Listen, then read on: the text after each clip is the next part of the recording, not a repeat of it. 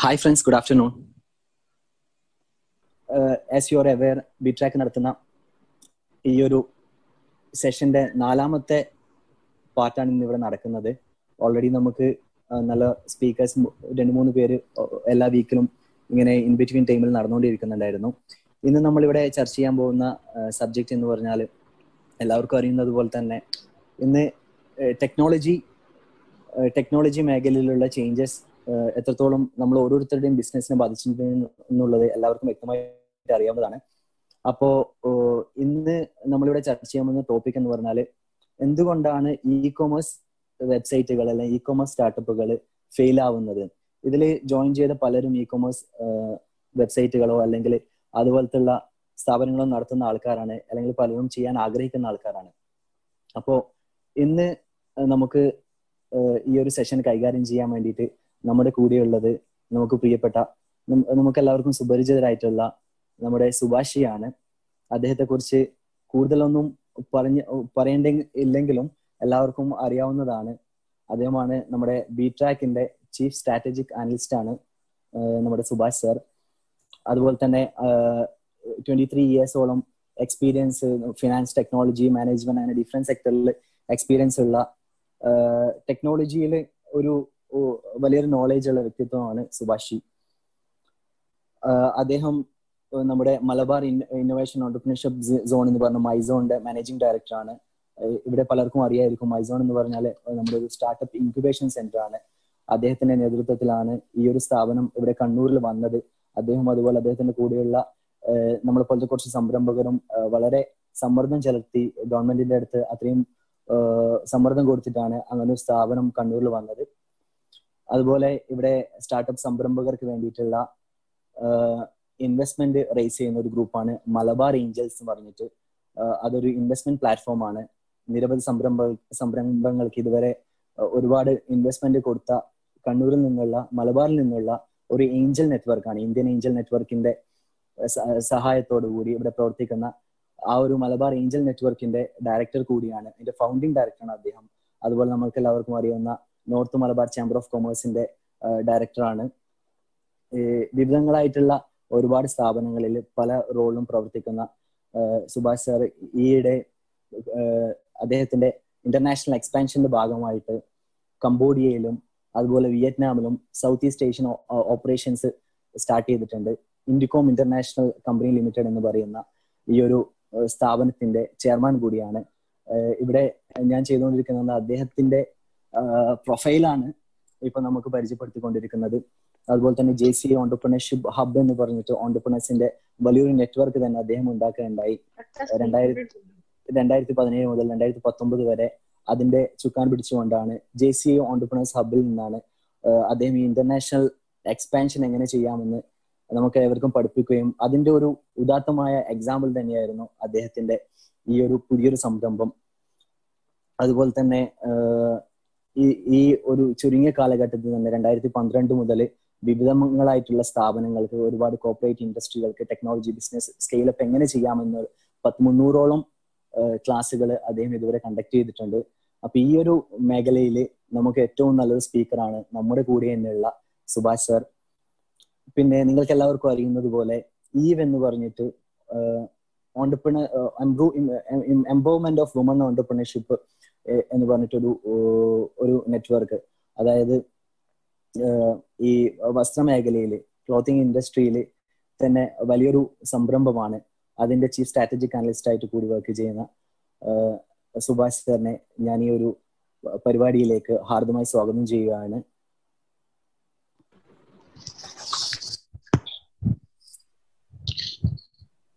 സുഹേർ വളരെ നന്നായിരുന്നു ഡിസ്ക്രിപ്ഷൻ പിന്നെ അപ്പം shall be hand over to the Subhash ji Subhash ji ready to take over right നമുക്കിപ്പോ നമുക്കിപ്പോ അമ്പത്തിനാലോളം മെമ്പർമാരായിട്ടുണ്ട്. ഇതുവരെ എത്തിയ എല്ലാവരെയും ഞാൻ നമ്മുടെ ഒരു നാലാമത്തെ സെഷനിലേക്ക് ഹാർദമായി സ്വാഗതം ചെയ്യുന്നു. ഹാൻഡ് ഓവർ ടു യു സുഭാഷി താങ്ക് യു താങ്ക് യു സുഹേ കുറച്ച് കൂടുതലായി പരിചയപ്പെടുത്തൽ വളരെ വളരെ വളരെ കുറഞ്ഞു പോയി. നിങ്ങളുടെ മെയിൻ ബിസിനസ് ആയ ഐനോസ് ഓഫ് ടെക്നോളജി പ്രൈവറ്റ് ലിമിറ്റഡ് ഞാൻ പറഞ്ഞിട്ടില്ല. അതുപോലെ ഒരുപാട് സംരംഭങ്ങൾക്ക് നിങ്ങളെ പത്ത് ഇരുപത്തി മൂന്ന് വർഷമായിട്ട് ഈ ഫീൽഡിലുണ്ട്. പറഞ്ഞു ഒരുപാട് പറഞ്ഞാൽ കൂടി പോകുന്നുള്ളത് കൊണ്ടാണ് കുറച്ച് പറഞ്ഞത്. Thank you thank you thank you so much thank you okay good evening all B track അഥവാ business technology research and analytics സെന്ററിന്റെ COVID nineteen post COVID era എങ്ങനെയാണ് ഓണ്ടർപ്രണേഴ്സിനെ നേരിടുക എന്നുള്ള കാര്യത്തിൽ ബി ട്രാക്കിന് ഒരു കമ്മ്യൂണിറ്റി അതിന്റെ ഒരു കമ്മ്യൂണിറ്റി ഉത്തരവാദിത്വം അതിനുള്ളതുകൊണ്ട് റെസ്പോൺസിബിലിറ്റി ഉള്ളതുകൊണ്ട്. ചെയ്യാൻ പറ്റാവുന്ന ഒരുപാട് കാര്യങ്ങൾ ചെയ്യാൻ നമ്മൾ ആലോചിച്ചുകൊണ്ടിരിക്കുകയാണ്. അതിന്റെ ഭാഗമായിട്ടാണ് ഇനീഷ്യലി ഈ ഒരു സീരീസ് ഓഫ് സെഷൻസ് പ്ലാൻ ചെയ്തത്. അതിൽ ഇ കൊമേഴ്സ് ഇന്ന് വരുന്നത് why most entrepreneurs fail at ecommerce business ആണ് ഈ ഒരു ടോപ്പിക് ഇന്ന് എടുക്കാൻ കാരണം ഇതൊരു സീരീസ് ആയി ഇതും ഒരു സെഷൻ സീരീസ് ആയിട്ടാണ് എടുക്കുന്നത്. ഈ ടോപ്പിക് എടുക്കാൻ കാരണം ഞങ്ങളൊക്കെ ടെക്നോളജിയിൽ വർക്ക് ചെയ്യുന്നവരാണ്. മലബാർ ഇന്നോവേഷൻ സോൺ അഥവാ മൈസോൺ എന്ന് പറഞ്ഞ കേരള സ്റ്റാർട്ടപ്പ് ഒരു ഇൻക്യുബേഷൻ സെന്ററിൽ കുറെ ടെക്നോളജി കമ്പനി ഒരു എഴുപതോളം കമ്പനികളുണ്ട് ഒത്തിരി ആൾക്കാരുമായിട്ട് കണക്റ്റഡ് ഞങ്ങൾക്ക് എല്ലാവർക്കും എസ്പെഷ്യലി ഞാൻ കുറച്ച് കൺസൾട്ടിങ് അഡ്വൈസറി മേഖലയിൽ ഉള്ളതുകൊണ്ട് ഒരുപാട് സ്ഥാപനങ്ങളിൽ നിന്നും ഒരുപാട് സെൽഫ് ഓണ്ടർപ്രണേഴ്സിന്റെ കയ്യിൽ നിന്ന് ഒരുപാട് റിക്വയർമെന്റ് ഇ കൊമേഴ്സിൽ വരുന്നുണ്ട്. എല്ലാവരും അതിന്റെ പിന്നാലെ ഓടുക. കഴിഞ്ഞ ആഴ്ചയൊക്കെ എനിക്ക് വന്ന പലരെയും ഞാൻ നിരുത്സാഹപ്പെടുത്തിയിട്ടുണ്ട്. ഇപ്പൊ അത് അങ്ങനെയല്ല ചെയ്യേണ്ടതെന്നൊക്കെ പറഞ്ഞിട്ട് നിരു ചില ആൾക്കാർ ചിലപ്പോൾ പിന്നെ തിരിച്ച് ഒന്നും ചോദിക്കാറില്ല. ചിലപ്പോൾ ഞാൻ നിരുത്സാഹപ്പെടുത്തേണ്ടതായിരിക്കാം അങ്ങനെ അത്തരം ഒരുപാട് റിക്വയർമെന്റ്സ് വരുമ്പോൾ ഇത് എങ്ങോട്ടാണ് പോകുന്നത് എന്നുള്ളൊരു സംശയവും കൂടെ വന്നതുകൊണ്ടാണ് ഈ ഒരു സെഷൻ ഒരു സീരീസ് ആയിട്ട് നടത്താൻ തീരുമാനിച്ചത്. അപ്പൊ ഇന്നത്തെ നമ്മുടെ സെഷൻ മെയിൻലി ഫോക്കസ് ചെയ്യുന്നത് ഈ ഇ കൊമേഴ്സ് ബിസിനസ് എങ്ങനെയാണ് ഒരു ഓൺടർപ്രണറുടെ കയ്യിൽ നിന്ന് ഫെയിൽ ആവുന്നതാണ്. അതായത് കൂടുതൽ ടെക്നോളജി നമ്മളിവിടെ പറയുന്നില്ല എന്ന് എന്ന് പല ആൾക്കാരും ഇപ്പൊ ഗ്രോസറി നടത്തുന്ന ടെക്സ്റ്റൈൽ നടത്തുന്ന അതുപോലെ പല സ്ഥാപനങ്ങളും ബ്യൂട്ടി പാർലർ നടത്തുന്ന ആൾക്കാരൊക്കെ ഓൺലൈൻ രജിസ്ട്രേഷനും ഇ കൊമേഴ്സും ഇ പേയ്മെന്റും ഗേറ്റ് വേ ഒക്കെ ആയിട്ട് മുന്നോട്ട് പോകുമ്പോൾ ഇത് ഒരു അമ്പതിനായിരം മുതൽ ഒരു ലക്ഷം രൂപ വരെയൊക്കെ ആരൊക്കെയോ ചെലവാക്കിയിട്ടൊക്കെ ആ പൈസ പോകാനുള്ളൊരു ചാൻസ് ഉള്ളത് കൊണ്ട് അത് നന്നായിട്ട് ചെയ്യാൻ അറിയുന്നവർക്ക് അതെങ്ങനെയാണ് ചെയ്യേണ്ടത് എന്നുള്ള ബേസിക് ഐഡിയ ഇന്ന് കൊടുക്കാൻ വേണ്ടിയിട്ടാണ് ഈ സീരീസിന്റെ സ്റ്റാർട്ടിങ് എന്ന് ഇതൊരു ഫോളോ അപ്പ് ഉണ്ടാവും. ഇത് നെക്സ്റ്റ് കുറച്ചുകൂടെ അഡ്വാൻസ്ഡ് ആയിട്ട് ഓരോ സീരീസ് സെഷനും മാറും. ഇതിന്റെ കണ്ടിന്യൂഷൻ ആയിട്ട് നാളെ സുഹൈർ സൂചിപ്പിച്ചതുപോലെ ഈവിന്റെ ചീഫ് ഓപ്പറേറ്റിംഗ് ഓഫീസർ അഭയ് നാളെ ഓഫ്ലൈൻ ഷോപ്പ് ഓൺലൈനിലേക്ക് മാറ്റുന്ന ഒരു സക്സസ് അദ്ദേഹത്തിന്റെ ലൈഫ് എക്സാമ്പിൾ എങ്ങനെയായിരുന്നു? ആ സക്സസ് സ്റ്റോറി നമ്മളോട് പങ്കുവെക്കും അത് കഴിഞ്ഞ് നമുക്ക് കൂടുതൽ ടെക്നോളജി കൂടുതൽ അഡ്വാൻസ്ഡ് കാര്യങ്ങളിലേക്കൊക്കെ പഠിക്കാൻ പോവാം. ഇന്ന് ഞാൻ വെരി ബേസിക് ആണ്. എന്റെ ഇന്നത്തെ മെയിൻലി ടാർഗറ്റ് ഞാൻ പാർട്ടിസിപ്പൻസ് കണ്ടു. പല ആൾക്കാരും ചെറിയ രീതിയിൽ ചെയ്യാൻ വേണ്ടി എന്നെ സമീപിച്ച ആൾക്കാരുണ്ട്. അങ്ങനെ കുറെ ആൾക്കാരെ ഞാൻ കണ്ടു. അപ്പം വളരെ ബേസിക് ആയിട്ട് ഇ കൊമേഴ്സ് ഒരു ആപ്ലിക്കേഷൻ അല്ലെങ്കിൽ ഇ കൊമേഴ്സ് സ്റ്റോർ നമ്മൾ തുടങ്ങുമ്പോൾ എന്താണ് നമ്മൾ കാര്യമായിട്ട് നോക്കേണ്ടത്? എന്തൊക്കെ ചാൻസ് ഇതിന് ഫെയിലർ ഉണ്ട് എന്നുള്ളതാണ്. ആദ്യം നമുക്ക് ഇതിന്റെ ഒരു എല്ലാവരും ഓടിപ്പോകുന്ന ഒരു കാലഘട്ടമാണ് ഒരുപാട് ആൾക്കാർ ഇ കൊമേഴ്സ് എന്ന് പറഞ്ഞ് കാണുന്ന ആൾക്കാരൊക്കെ ഓടുകയാണ്. അങ്ങനെ ഓടുന്നതിൽ തെറ്റുണ്ടോ? ഇതൊക്കെ വിജയിക്കൂ. എന്റെ അഭിപ്രായം ഓടുന്നതിൽ തെറ്റൊന്നുമില്ല. എല്ലാവർക്കും ഇ കൊമേഴ്സ് ആവാം. അതിൽ തെറ്റൊന്നുമില്ല. ഇന്നത്തെ ഒരു ന്യൂസ് ഇന്നിപ്പോ ഏതാനും മണിക്കൂറുകൾക്ക് മുന്നേ വന്നൊരു ന്യൂസ് നമ്മൾ കേട്ടിട്ടുണ്ട്. Reliance Reliance ജിയോയിൽ Facebook nine point ninety nine percentage share acquire ചെയ്യാണ്. ഏതാണ്ട് five point seven billion U S dollar ജിയോയിലേക്ക് Facebook invest ചെയ്തിരിക്കുകയാണ്. അതിന്റെ മെയിൻ ഒബ്ജക്റ്റീവ് എന്താ വെച്ചാൽ വാട്സപ്പ് മുഖേന ലോക്കൽ നെയ്ബർഹുഡ് ഷോപ്പിനെ കണക്ട് ചെയ്തിട്ട് ആലോചിക്കണം. ലോക്കൽ നെയ്ബർഹുഡ് ഷോപ്പിനെ കണക്ട് ചെയ്തിട്ട് ഡെലിവറി പ്ലാറ്റ്ഫോം സെറ്റ് ചെയ്യുക അല്ലെങ്കിൽ കൺസ്യൂമർക്ക് സാധനങ്ങൾ എത്തിക്കുക എന്നുള്ളതാണ്. ഒരു പ്ലാറ്റ്ഫോം ആക്കാൻ പോവാണ്. നമുക്കറിയാം ആമസോണും ഫ്ലിപ്കാർട്ടും നമ്മൾ ഉപയോഗിച്ച് നമ്മൾ എപ്പോഴും പറയാറുള്ള ഇ കൊമേഴ്സ് പ്ലാറ്റ്ഫോമുകൾ കൊറോണ എന്ന് കേട്ടപ്പോൾ ഇതൊക്കെയാണ് നാളെ ഓഫ്ലൈൻ ഷോപ്പുകളുടെ ഭാവി കളയെന്ന് നമ്മൾ ഒരുപാട് ഡിസ്കസ് ചെയ്തതാണ്. പക്ഷെ കൊറോണ എന്ന് കേട്ടപ്പോഴും ആദ്യം ബിസിനസ് നിന്ന് പോയത് അവരുടേതാക്കാം നമ്മുടെ ലോക്കൽ ഷോപ്പുകളൊക്കെ എസെൻഷ്യൽ സർവീസ് ഇപ്പോഴും ഭംഗിയായി വർക്ക് ചെയ്യും അത് മുന്നിൽ കണ്ടുകൊണ്ടാണ് ജിയോ ഒക്കെ വരുന്നത് ഈ വാട്സപ്പ് മുഖേന എങ്ങനെ കണക്ട് ചെയ്യാം. ഓഫ് കോഴ്സ് ഇത് എല്ലാവരും ഓടേണ്ടതാണ്. പക്ഷെ ഓടുമ്പോൾ ശ്രദ്ധിച്ചിട്ടില്ലെങ്കിൽ ഞാൻ നേരത്തെ പറഞ്ഞതുപോലെ എയ്റ്റി പെർസെന്റേജ് ഒരു മിനിമം ഫെയിൽ റേറ്റ് ആണ്. ഇ കൊമേഴ്സ് ബിസിനസ്സിൽ വരുന്ന ഓണ്ടർപ്രണേഴ്സിൽ ചില ആൾക്കാർ അത് നയന്റി സെവൻ പെർസെന്റേജ് ഒക്കെ പ്രെഡിക്റ്റ് ചെയ്യുന്നുണ്ട്. അപ്പൊ ഇതിനൊരു ഭാവി എന്തായാലും ഉണ്ട്. കാരണം ഇന്ത്യയിൽ ഇ കൊമേഴ്സ് പെനിട്രേഷൻ എന്ന് പറയുന്നത് വെറും ഇരുപത്തിയെട്ട് ശതമാനമാണ്. ടൂ തൗസൻഡ് ട്വന്റി വണ്ണിൽ ഏതാണ്ട് twenty three percentage C A G R ആണ് പ്രെഡിക്റ്റ് ചെയ്യപ്പെട്ടുള്ളത്. സി എ ജി ആർ എന്ന് പറഞ്ഞാൽ കോമ്പൗണ്ട് ആനുവൽ ഗ്രോത്ത് റേറ്റ് ഏതാണ്ട് ട്വന്റി ത്രീ പെർസെന്റേജ് ആണ് പ്രെഡിക്റ്റ് ചെയ്തിട്ടുള്ളത് അപ്പൊ ടൂ തൗസൻഡ് ഇത് കൊറോണക്ക് മുന്നെയാണ്. കൊറോണയ്ക്ക് ശേഷവും കൊറോണക്ക് മുന്നേ ഉള്ള ഒരു പുതിയ ബിസിനസ് മോഡൽ വരുന്നു. കൊറോണക്ക് മുന്നേ തന്നെ നമുക്ക് അത്രയും പെനിട്രേഷൻ നമ്മുടെ കയ്യിൽ ഉണ്ട്. അപ്പൊ അത്രയും വെറും ട്വന്റി എയ്റ്റ് പെർസെന്റ് ഇനി അത്രയും ഗ്രോത്ത് റേറ്റിലേക്ക് നമുക്ക് പോകാനുണ്ട്. തീർച്ചയായും കൊറോണ കഴിയുമ്പോഴേക്കും അതിന്റെ ആ ലോക്ക്ഡൌൺ പീരീഡ് ഒക്കെ കഴിഞ്ഞ് വരുമ്പോൾ ഒരുപാട് ഇ കൊമേഴ്സ് യൂസേഴ്സും പ്രത്യേകിച്ച് നമ്മളൊക്കെ സൂമും വെബിനാറും ഒക്കെ പരിചയപ്പെട്ടതുപോലെ എല്ലാവരും ഇ കൊമേഴ്സും അതുപോലുള്ള പ്ലാറ്റ്ഫോം ഒക്കെ പരിചയപ്പെട്ട ഒരു സമയമാണ്. ഡെഫിനറ്റ്ലി പ്രഡിക്ട് ചെയ്തത് ഒരു ഫോർ ഹൺഡ്രഡ് മില്യൺ ഒക്കെയാണ് ടൂ തൗസൻഡ് ട്വന്റിയിലെ ഇന്ത്യ ഇ കൊമേഴ്സ് ബിസിനസ് അതിന്റെ ഇരട്ടിയൊക്കെ പോകാനുള്ള സാധ്യതയാണ് വിദഗ്ധർ പറയുന്നത്. ഈ ഒരു അവസരത്തിൽ ഇ കൊമേഴ്സ് ആപ്ലിക്കേഷനുമായിട്ട് നമ്മുടെ സാധാരണ ഒരു ടെക്സ്റ്റൈൽ ഷോപ്പ് അല്ലെങ്കിൽ ഒരു ഗ്രോസറി ഒരു വെജിറ്റബിൾ ഷോപ്പ് ഒരു ഫാൻസി ഷോപ്പ് അത്തരം ആൾക്കാർ അതിലേക്ക് കടന്നു പോകുമ്പോൾ എന്തൊക്കെ ചതിക്കുഴികളുണ്ട്? നമ്മുടെ കയ്യിൽ നിന്ന് മേ ബി ഈ ഒരു ലക്ഷം രൂപ എങ്ങനെയൊക്കെ നഷ്ടപ്പെടാം എന്ന് പറയാൻ വേണ്ടിയിട്ടാണ് ഞാനിന്ന് ഈ സെഷൻ ഇതിൽ തുടങ്ങുന്നത്. അതിന് മുന്നേ നമുക്ക് രണ്ട് മൂന്ന് ജനറൽ കാര്യങ്ങൾ പറഞ്ഞു പോകണം ഡെഫിനറ്റ്ലി അങ്ങനെ ഒരു ക്ലാസ് ആകുമ്പോൾ ഇപ്പൊ ഇ കൊമേഴ്സ് ബിസിനസ്സിൽ എന്തൊക്കെ മോഡൽസ് ഉണ്ടെന്ന് നമുക്ക് നോക്കാം. എല്ലാവർക്കും അറിയുന്നതായിരിക്കും ഒരു വിധം എല്ലാവർക്കും. നമുക്ക് ബി ടു സി മോഡൽ ഉണ്ട് എന്ന് വെച്ചാൽ business to consumer B to B ഉണ്ട്. അത് ബിസിനസ് ടു കൺസ്യൂമർ നമുക്കറിയാം. നമുക്ക് ആമസോണിനൊക്കെ എടുക്കുന്നത്. ബി ടു ബി ഉണ്ട്. ആമസോൺ ബിസിനസ് അതിന്റെ ഒരു എക്സാമ്പിൾ ആണ്. ബിസിനസ്സുകൾക്ക് സപ്ലൈ ചെയ്യാൻ വേണ്ടിയിട്ട്. അഗെയിൻ കൺസ്യൂമർ ടു കൺസ്യൂമർ ഒരു കൺസ്യൂമർ മറ്റൊരു കൺസ്യൂമർക്ക് കൊടുക്കുന്ന പ്ലാറ്റ്ഫോം ഉണ്ട്. അതും നമുക്കറിയാം. പഴയ സാധനങ്ങൾ അല്ലെങ്കിൽ സെക്കൻഡ് ഹാൻഡ് ഗുഡ്സ് ഒക്കെ വെക്കുന്ന ഓയിൽ എക്സ് പോലുള്ള പ്ലാറ്റ്ഫോം ഇനി സി ടു ബി ഉണ്ട്. കൺസ്യൂമർ ടു ബിസിനസ് അത് ക്രിയേറ്റീവ് ആയ ആൾക്കാരൊക്കെ ചെയ്യുന്ന കാര്യം. ഇപ്പൊ ഫോട്ടോലിയ എന്ന് പറയുന്ന പ്ലാറ്റ്ഫോമിലേക്ക് ചിത്രം വരയ്ക്കുന്ന ഫോട്ടോ എടുക്കുന്ന ആൾക്കാർ അവരുടെ നല്ല ഫോട്ടോ അപ്ലോഡ് ചെയ്ത് അതിനൊരു പൈസ എമൗണ്ട് കൊടുക്കാൻ വേണ്ടിയുള്ള ഒരു പ്ലാറ്റ്ഫോമാണ് C to B then government ലെവലിലാണ് അതൊന്ന് ബിസിനസ് ടു ഗവൺമെന്റ് അഥവാ ബി ടു ജി ആണ്. അതിലാണ് ഓൺലൈൻ ടെൻഡേഴ്സും ഓപ്ഷൻസും ഒക്കെ നടക്കുന്നത്. അടുത്തത് സി ടു ജി ആണ്. കൺസ്യൂമർ ടു അഡ്മിനിസ്ട്രേഷൻ ഇലക്ട്രിക് നമ്മുടെ കെ എസ് സി ബിയുടെ ഒക്കെ പേയ്മെന്റ് ഈ പേയ്മെന്റ് സിസ്റ്റങ്ങളൊക്കെ അതിൽ വരും.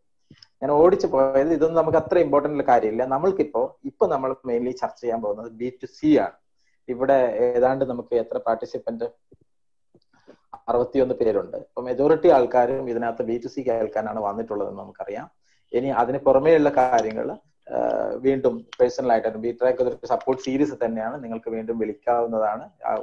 പോസ്റ്ററിലൊക്കെ ഉള്ള നമ്പറിലൊക്കെ വിളിച്ചാൽ നിങ്ങൾക്ക് കണക്ഷനും വീണ്ടും ടെലിഫോണിലോ അല്ലെങ്കിൽ ഓൺലൈനിലോ സപ്പോർട്ട് പേഴ്സണലിയും തരുവാൻ സന്നദ്ധമാണ്. അടുത്തത് ഈ ഇ കൊമേഴ്സിന്റെ പ്രൊഡക്റ്റ് മോഡൽ നമുക്കൊന്ന് ഡിസ്കസ് ചെയ്യാം. എന്തൊക്കെ പ്രൊഡക്റ്റ് മോഡൽസ് ഉണ്ടെന്ന്. ഒന്ന് സിംഗിൾ പ്രൊഡക്റ്റ് ആണ്. സിംഗിൾ പ്രൊഡക്റ്റ് എന്ന് പറഞ്ഞാൽ ഒറ്റ പ്രൊഡക്റ്റ് ഒറ്റ പ്രൊഡക്റ്റ് വേണ്ടി മാത്രം. ഒരു സെഗ്മെന്റിലല്ല ഒരു ഒരു സിംഗിൾ പ്രൊഡക്റ്റ് വിൽക്കാൻ വേണ്ടിയിട്ട് ഉള്ള ഒരു പ്ലാറ്റ്ഫോം സിംഗിൾ പ്രൊഡക്റ്റ് ഹൈ റിസ്കിയാണ് കാരണം നമ്മൾക്ക് നന്നായിട്ട് ബ്രാൻഡ് ഇമേജ് ഉള്ള അല്ലെങ്കിൽ നമുക്ക് നന്നായിട്ട് കോൺഫിഡൻസ് ഉള്ള ഒരു പ്രൊഡക്റ്റുമായിട്ട് മാത്രമേ നമുക്ക് ഇറങ്ങാൻ പറ്റുള്ളൂ. അത് ലോ റിസ്ക് പ്രൊഡക്റ്റുമായിട്ട് നമ്മൾ ഇറങ്ങണം. അതുപോലെ തന്നെ അത്തരം പ്രൊഡക്റ്റുകൾ കൈകാര്യം ചെയ്യുമ്പോൾ ആ പ്രൊഡക്റ്റിനുള്ള ഒരു ആവശ്യകത കുറഞ്ഞു പോയി കഴിഞ്ഞാൽ ഡെഫിനറ്റ്ലി സിംഗിൾ പ്രൊഡക്റ്റ് ആ ഷോപ്പ് തന്നെ കൂട്ടേണ്ടി വരും. അതാണ് ഒരു മോഡൽ സെക്കൻഡ് മോഡൽ സിംഗിൾ കാറ്റഗറിയാണ് അതായത് ഒരു പർട്ടിക്കുലർ കാറ്റഗറി ഇപ്പോ ന്യൂ ബിസിനസ്സും അല്ലെങ്കിൽ ന്യൂ ഇ കൊമേഴ്സ് ബിസിനസ്സിലും ചെയ്യാൻ പോകുന്ന ആൾക്കാർ മിക്കവാറും ആഗ്രഹിക്കുന്നത് അല്ലെങ്കിൽ അവർ വരാൻ ആഗ്രഹിക്കുന്നത് സിംഗിൾ കാറ്റഗറി ലൈക്ക് ഒരു ഗ്രോസറി ഷോറൂം അല്ലെങ്കിൽ ഒരു വെജിറ്റബിൾ ഷോപ്പ് ഓൺലൈൻ ഇങ്ങനെയുള്ള സിംഗിൾ കാറ്റഗറി. ഇത് ഒരു ന്യൂ ബിസിനസ്സിന് ആദ്യമായിട്ട് ഇ കൊമേഴ്സിലേക്ക് വരാൻ ഏറ്റവും നല്ലത് സിംഗിൾ കാറ്റഗറി ആയിരിക്കും.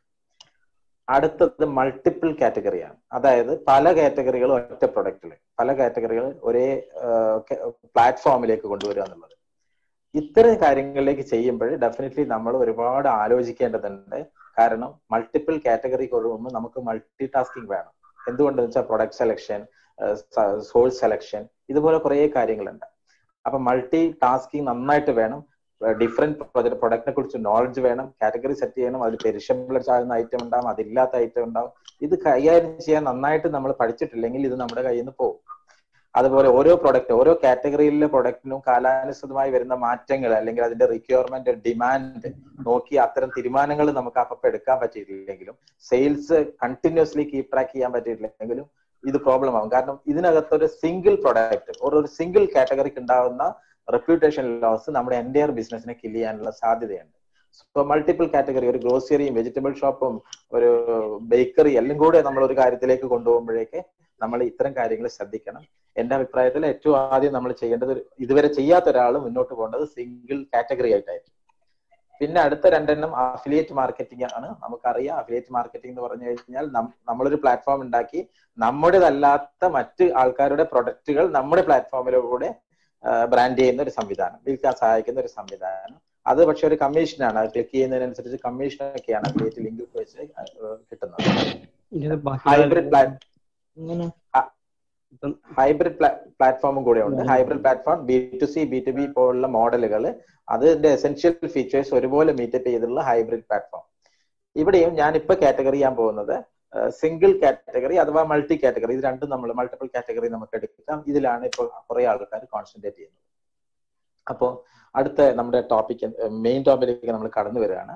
Why most of the e commerce fails almost eighty percentage ആണ് ഫെയിലർ റേറ്റ് ഞാൻ പറഞ്ഞ പോലെ നയന്റി സെവൻ പെർസെന്റേജ് ഒക്കെ അത് വരുന്നുണ്ട്. അപ്പൊ നമ്മൾ പല ആൾക്കാർക്കും ഇ കൊമേഴ്സ് ബിസിനസ് സ്റ്റാർട്ട് ചെയ്യേണ്ട ഒത്തിരി പേരുണ്ട്. ഇപ്പൊ ഞാൻ പാർട്ടിസിപ്പന്റിനെ കാണുമ്പോൾ എനിക്ക് അറിയാം ഞാനുമായിട്ട് സംസാരിച്ച ആൾക്കാരൊക്കെ ഇതിനകത്തുണ്ട്.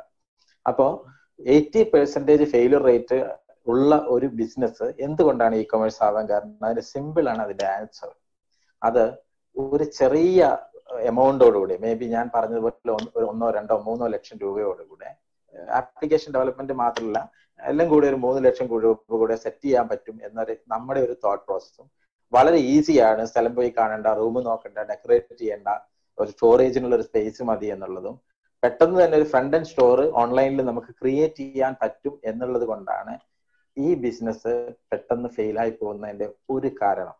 കാരണം ഇത് വളരെ ഈസിയാണ് എന്ന തോട്ട് ഞാൻ ഇതിനകത്ത് എന്നൊക്കെ വരുന്നത് കാണുന്ന എല്ലാവരോടും പറഞ്ഞിട്ടുണ്ട് ഇ കൊമേഴ്സ് ബിസിനസ് അത്ര ഈസി അല്ല. നമുക്ക് ഈ ഷോപ്പിംഗ് അല്ലെങ്കിൽ വെബ് അപ്ലിക്കേഷൻ അല്ലെങ്കിൽ ഇതിനകത്തുള്ള ഒരു പ്ലാറ്റ്ഫോം ഉണ്ടാക്കുന്നത് മാത്രമാണ് ബിസിനസ് എന്ന് നമ്മൾ ചിന്തിക്കുന്നത് കൊണ്ടാണ് ഇത് ഫെയിൽ ആവാനുള്ള കാരണം. ഇതിന് നല്ല ഇൻവെസ്റ്റ്മെന്റ് സത്യത്തിൽ വേണം. അത്യാവശ്യം നല്ല ഇൻവെസ്റ്റ്മെന്റ് ഇതിനകത്ത് സത്യത്തിൽ വേണം. അക്ഫ ആ ബോർഡ് ആരോ ഉപയോഗിക്കുന്നുണ്ട്. അതൊന്ന് ഷോപ്പ് ചെയ്യാവോ? എന്റെ പ്രസന്റേഷൻ മുകളിലൂടെ അത് പോകുന്നുണ്ട്. Okay okay okay thank you thank you okay chat system ഉപയോഗിക്കാം കേട്ടോ. അതിന്റെ ഇടയിൽ നിങ്ങൾക്ക് ആർക്കൊക്കെ വേണമെങ്കിൽ ചാറ്റ് സിസ്റ്റം ഉപയോഗിക്കാം. ഓക്കെ പറഞ്ഞു വന്നത് ഇ കൊമേഴ്സിന്റെ ഫെയിലർ വളരെ ചെറിയ എമൗണ്ട് കൊണ്ട് കൂടി തുടങ്ങാം എന്ന് നമ്മൾ ധരിക്കുകയാണ്. എന്നാൽ അതല്ല അത്യാവശ്യം ഒരു ഇൻവെസ്റ്റ്മെന്റോട് കൂടി തുടങ്ങേണ്ട ഒരു പ്രസ്ഥാനമാണ് ജസ്റ്റ് ജസ്റ്റ് ലൈക്ക് നമ്മളൊരു വേറൊരു പുതിയ ഷോപ്പ് ഒരു ഫിസിക്കൽ അല്ലെങ്കിൽ ഓഫ്ലൈൻ ഷോപ്പ് എങ്ങനെയാണോ തുടങ്ങുന്നത് അതുപോലെ തന്നെയാണ് ഒരു ഓൺലൈൻ ഷോപ്പ് തുടങ്ങുന്നത്. നല്ല ഒരു പ്ലേസിൽ ഡെക്കറേറ്റ് ചെയ്യാൻ അല്ലെങ്കിൽ ഫർണിച്ചറിനും ഇന്റീരിയറിനും വലിയ പൈസ ചെലവാക്കുന്നില്ല എന്നുള്ള ഒറ്റ വ്യത്യാസമേ ഉള്ളൂ. ഒരു പുതിയ ഓഫ്ലൈൻ ഷോപ്പ് നമ്മൾ കണ്ണൂർ ടൗണിൽ ഒരു പുതിയ വെജിറ്റബിൾ ഷോപ്പ് തുടങ്ങുകയാണ്. നമ്മൾക്ക് അത് പെയിന്റ് അടിക്കണം. അതിനെ പെയിന്റ് അടിക്കുന്നതിന് അതിനെ അട്രാക്ട് അട്രാക്റ്റീവ് ആക്കണം. അതിന് നല്ലൊരു ബോർഡ് വെക്കണം അല്ലെ? നല്ലൊരു ബോർഡ് നെയിം ബോർഡ് വെക്കണം. വേണമെങ്കിൽ അതിൽ സെയിൽസ്മാൻ വേണ്ടി വരും. ആൾക്ക് സാധനം എടുത്തു കൊടുക്കാൻ ആൾക്കാർ വേണം. ഇതൊക്കെ ഓൺലൈൻ ഷോപ്പിലുണ്ട് പക്ഷെ ബോർഡ് നമ്മൾ ഒരു ഫിസിക്കൽ ബോർഡ് അല്ല വെക്കുന്നേ ഉള്ളൂ. ഈ ഷോപ്പ് തുടങ്ങിക്കഴിഞ്ഞാൽ അതിനകത്ത് വെക്കേണ്ട ബോർഡ് ഓൺലൈനിൽ വെക്കേണ്ട ബോർഡുകൾ വേണം. ഡെലിവറിക്ക് സ്റ്റാഫ് വേണം. സെയിൽസിന് കാര്യങ്ങൾ കൈകാര്യം ചെയ്യാൻ സ്റ്റാഫ് വേണം. ഇങ്ങനെ ഒരു ബിസിനസ്സിന് വേണ്ട എല്ലാ സെറ്റപ്പും ശരിക്കും പറഞ്ഞ ഒരു ഇ കൊമേഴ്സ് ബിസിനസ്സിന് വേണം. നോർമലി നമ്മൾക്കൊരു ട്രേഡിംഗ് എക്സ്പീരിയൻസ് ഇല്ലാത്ത ഒരാളാണ് ഇതിൽ വരുന്നതെങ്കിൽ ഡെഫിനറ്റ്ലി ഇത്തരം കാര്യങ്ങൾക്ക് നമ്മൾക്ക് എക്സ്പെർട്ടൈസും ഉണ്ടോ? സ്റ്റോക്ക് ഒക്കെ ഹാൻഡിൽ ചെയ്യാൻ. അതും കൂടെ ചെക്ക് ചെയ്യണം. നമ്മളൊരു പ്ലാറ്റ്ഫോം ഒരു ബ്രിഡ്ജിംഗ് പ്ലാറ്റ്ഫോം അല്ല ചെയ്യുന്നതെങ്കിൽ. ചില നേരത്തെ ഞാൻ പറഞ്ഞ മോഡൽസിൽ ഉള്ളത് പോലെ തന്നെ നമുക്കൊരു ബ്രിഡ്ജിംഗ് പ്ലാറ്റ്ഫോം ചെയ്യാം. കാരണം ബയർ വേറെയാണ് സെല്ലർ വേറെയാണ്. നമ്മൾ ഡെലിവറി മാത്രം ബ്രിഡ്ജ് ചെയ്യാം. ആ ഓർഡർ എടുക്കാം ബ്രിഡ്ജ് ചെയ്യാം. അപ്പൊ നമുക്ക് ഇത്രയൊന്നും വേണ്ടി വരില്ല. പക്ഷെ അവിടെയും അഡ്വർടൈസ്മെന്റ് വേണം. അഡ്വർടൈസ്മെന്റ് പോലെയുള്ള കാര്യങ്ങൾ ചെയ്യാനുള്ള ഒരു ഇൻവെസ്റ്റ്മെന്റ് വേണം. ഇതൊരു കണ്ടിന്യൂസ് പ്ലാനുമാണ് ഇന്ന് ഇ കൊമേഴ്സ് പ്ലാറ്റ്ഫോം തുടങ്ങി ഒരു ഫേസ്ബുക്കിൽ ഒരു ആഡ് ഇട്ടിട്ട് നമ്മൾ പിന്നെ വെറുതെ ഇരുന്ന ഇത് പോവില്ല ഇത് കണ്ടിന്യൂസ്ലി പോകണം ഫുൾ ടൈം ഇതിന്റെ ശ്രദ്ധ വേണം. ഒരു എന്നോട് ഇപ്പൊ ഒരാളോട് ചോദിച്ച ചെറിയ ഒരു ഏരിയയിൽ ചെറിയൊരു സർക്കിളിൽ ഒരു ഇ കൊമേഴ്സ് ഗ്രോസറി ഷോപ്പ് തുടങ്ങണമെങ്കിൽ പോലും ഒരു three to five lakhs investment വേണം. ഇത് നമ്മൾ ചെയ്യാതെ ഒരു അമ്പതിനായിരം രൂപയ്ക്ക് ചിലപ്പോൾ നമ്മൾ പിന്നെ ഇപ്പൊ കൊറോണ അല്ലെങ്കിൽ ഒക്കെ ആയിട്ട് തീരെ വർക്കില്ലാത്ത ഒരു ഐ ടി ഡെവലപ്പർ അടുത്ത് പോയിട്ട് അയാളുടെ ഉള്ള ഒരു പ്ലാറ്റ്ഫോം ഇരുപത്തയ്യായിരം അല്ലെങ്കിൽ ഇരുപതിനായിരം രൂപ തരാന്നൊക്കെ പറഞ്ഞ് നമ്മൾ ഇത് വാങ്ങിച്ചു കൊണ്ടുപോകും. എന്നിട്ട് ഇത് സെറ്റപ്പ് ആക്കാൻ പോയി കഴിഞ്ഞാൽ ആ പൈസ പോവേ ഉള്ളൂ. മിനിമം ഒരു ത്രീ ടു ഫൈവ് ലാക്സ് ചെറിയൊരു സർക്കിളിലാണ് ഞാൻ പറയുന്നത്. സ്റ്റാർട്ടപ്പ് എന്ന് നമ്മളൊക്കെ കേട്ടിട്ടുണ്ട്. സ്റ്റാർട്ടപ്പ് എന്നൊക്കെ കേട്ടിട്ടുണ്ട്. കോടികളുടെ ഇൻവെസ്റ്റ്മെന്റ് വരുന്നു മൂന്ന് കോടി നമ്മുടെ ഫാർമർ ഫസ്റ്റിനൊക്കെ വന്നിട്ടുണ്ട്. ആദ്യ ഘട്ടത്തിൽ ഇപ്പൊ രണ്ടാമത്തെ ഇൻവെസ്റ്റ്മെന്റ് വരുന്നു. കോടികളുടെ കണക്കൊക്കെ ചെയ്യുന്നുണ്ട്. നിങ്ങൾ അവിടെ ശ്രദ്ധിക്കേണ്ട ഒരു കാര്യം ഈ സ്റ്റാർട്ടപ്പുകൾ അവരുടെ മെജോറിറ്റി പെർസെന്റേജ് ഓഫ് ഇൻവെസ്റ്റ്മെന്റ് ചെലവഴിക്കുന്നത് maybe forty to sixty percentage investment പോകുന്നത് ടെക്നോളജി ഡെവലപ്മെന്റിനാണ് ആ ഏരിയയിലാണ് സ്റ്റാർട്ടപ്പുകളാണ് കൂടുതൽ ഇ കൊമേഴ്സ് ചെയ്യുന്നുണ്ടാവുക. ആ ഏരിയയിലാണ് നമ്മൾ ഒരു രണ്ടിൽ അമ്പതിനായിരം രൂപയും കൊണ്ട് ചെല്ലുന്നത് എന്ന് ഒരു ഓർമ്മ വേണം. ഞാൻ ആരെയും പിന്മാറ്റമല്ല മിനിമം ഇൻവെസ്റ്റ്മെന്റ് ഒരു ചെറിയ ഏരിയയിൽ ചെയ്യാൻ വേണ്ടിയിട്ട് വേണ്ട ഒരു എമൗണ്ട് ആണ്. അതല്ലാതെ നമ്മൾ പോയി ഒരു ടെക്നോളജി ഓണ്ടർപ്രണോട് അല്ലെങ്കിൽ ഒരു ഐ ടി കമ്പനിയോട് പോയിട്ട് ഒരു പ്ലാറ്റ്ഫോം ഇത്രക്ക് വേണം എന്നൊക്കെ പറഞ്ഞു കഴിഞ്ഞാൽ അവർ ചെയ്തു തരും. തൽക്കാലത്തെ ഒരു ബിസിനസ് പക്ഷെ നമുക്കിത് കൊണ്ടുപോകാൻ കഴിയില്ല. സോറി അവരുമായിട്ട് നമ്മൾ അവരുമായിട്ട് നമ്മൾ ചേർന്നിരുന്ന് ഡിസ്കസ് ചെയ്ത് നമ്മൾക്ക് വേണ്ട ഐഡിയാസ് അവർക്ക് ട്രാൻസ്ഫർ ചെയ്ത് നമ്മൾ പറയണം. ഇതാണ് important first enough invest not enough investment ഇല്ലാതെയാണ് പലപ്പോഴും സോറി നമ്മൾ വരുന്നത്. Really sorry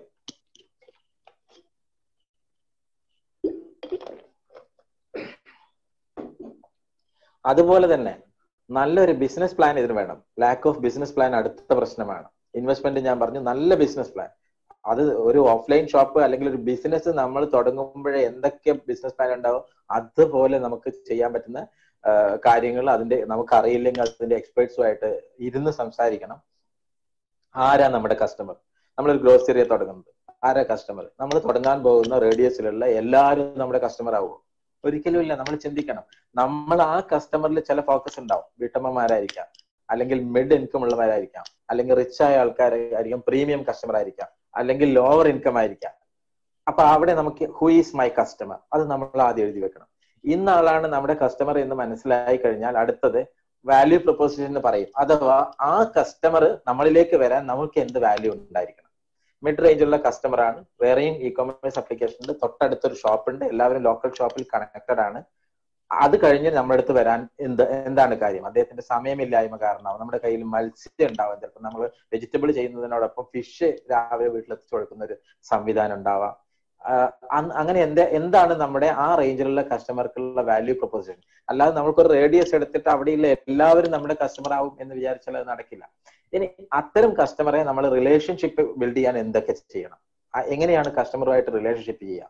may B initially തന്നെ ഒരു പരസ്യക്കിട്ടോ നടക്കില്ല. May be other other activities ഒരുപാട് നമ്മൾ ചെയ്യേണ്ടി വരും അവരെ റിലേറ്റ് ചെയ്യാൻ വേണ്ടിയിട്ട്. അതെന്തൊക്കെയാണ്? എന്തൊക്കെ ചാനലിൽ എന്തൊക്കെ മാർക്കറ്റിംഗ് ചാനലിൽ നമുക്ക് അവരിലേക്ക് റീച്ച് ചെയ്യാം?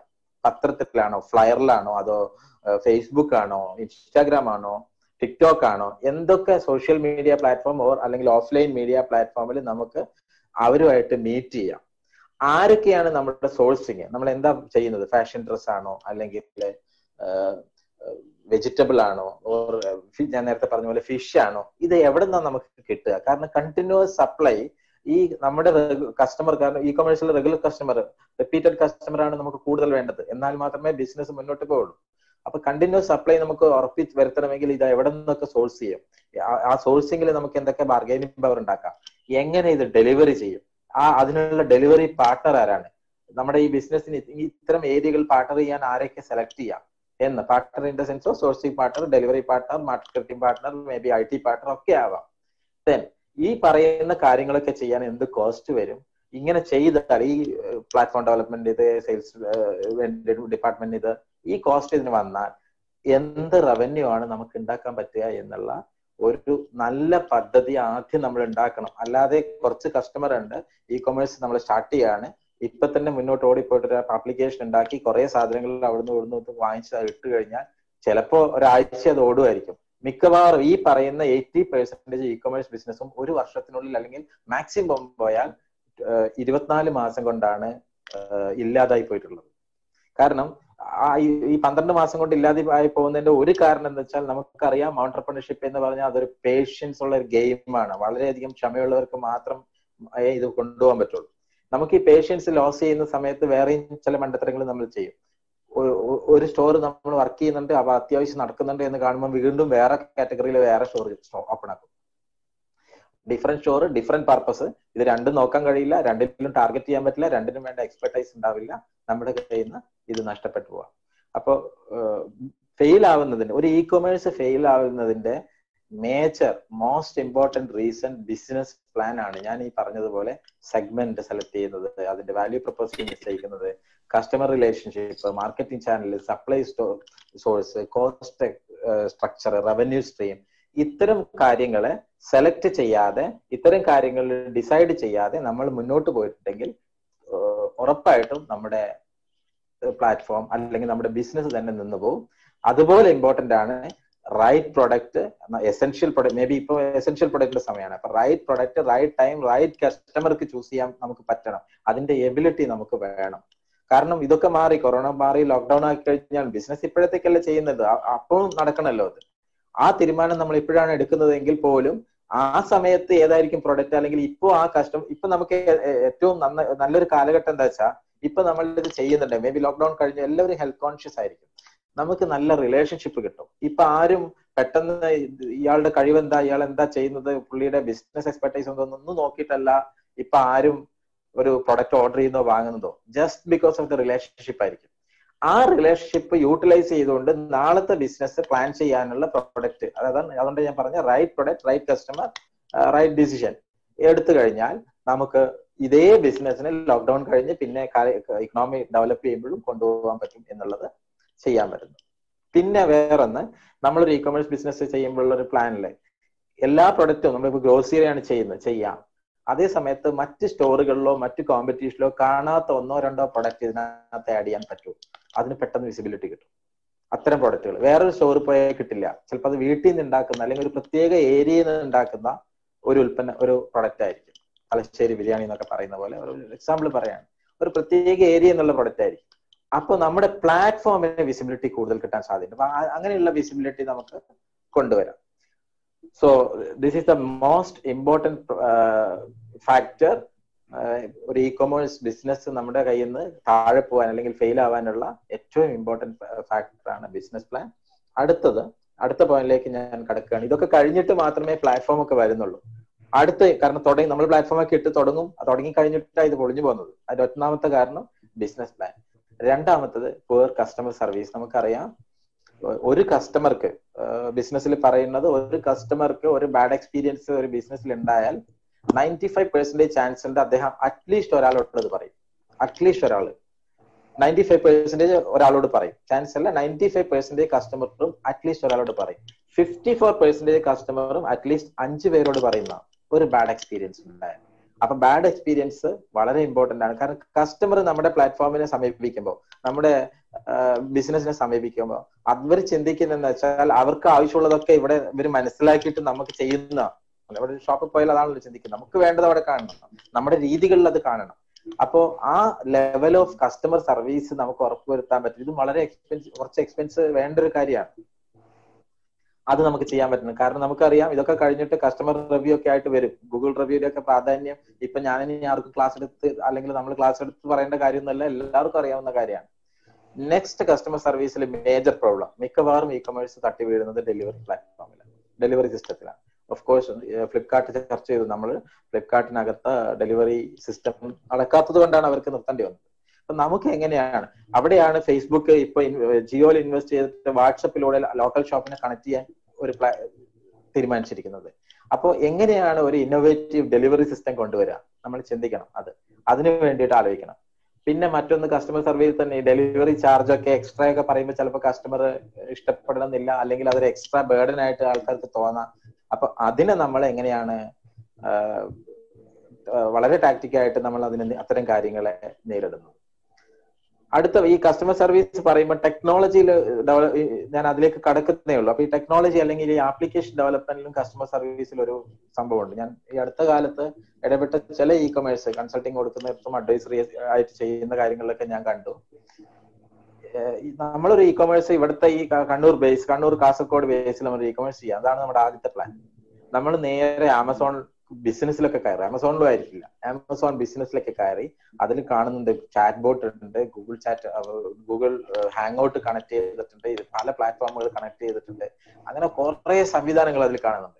നമ്മൾ നേരെ പോയി നമ്മുടെ ടെക്നോളജി ചെയ്യുന്ന ആളോട് പറയും ഇതൊക്കെ എനിക്ക് വേണം. അതിനകത്ത് ഒരു ചാറ്റ് ചാറ്റ് എഞ്ചിൻ വേണം ലൈറ്റ് ചാറ്റ് വേണം അതേപോലെ റോബോട്ട് ചാറ്റ് വേണം. ഇത് ഇതൊക്കെ നമ്മൾ അങ്ങ് പറയും. ഈ സംഭവം ടെക്നോളജി ആൾ ഡെവലപ്പ് ചെയ്യുകയും ചെയ്യും. ഇനി എന്താ സംഭവിക്കുന്നു ഇത് ഓപ്പറേറ്റ് ചെയ്യാൻ നമുക്ക് അറിയില്ല അല്ലെങ്കിൽ ഓപ്പറേറ്റ് ചെയ്യാനുള്ള റിസോഴ്സ് നമ്മുടെ അടുത്ത് ഉണ്ടാവില്ല. ഓട്ടോമാറ്റിക് ചാറ്റ് സിസ്റ്റങ്ങളൊക്കെ നടക്കണമെങ്കിൽ നമുക്ക് കുറെ ഡാറ്റ സിസ്റ്റം നമ്മുടെ ഇന്റേണൽ ഡാറ്റയും ഒക്കെ വേണം. ഇനി ലൈവ് ചാറ്റ് ആണെങ്കിൽ ഒരാൾ അപ്പോയിന്റ് ചെയ്യണം. അതിലൊരു കസ്റ്റമർ എന്തെങ്കിലും ഒരു കാര്യങ്ങൾ ചാറ്റ് ചെയ്ത് റിപ്ലൈ ചെയ്യാൻ ആളുണ്ടാവില്ല. അല്ലെങ്കിൽ ഒരു ഓട്ടോ റെസ്പോൺസ് പോകും. നമ്മൾ ഇതൊക്കെ നോക്കി ചെയ്തിട്ടുണ്ട് will reply soon with immediate support എന്നൊക്കെ പറഞ്ഞു വരും.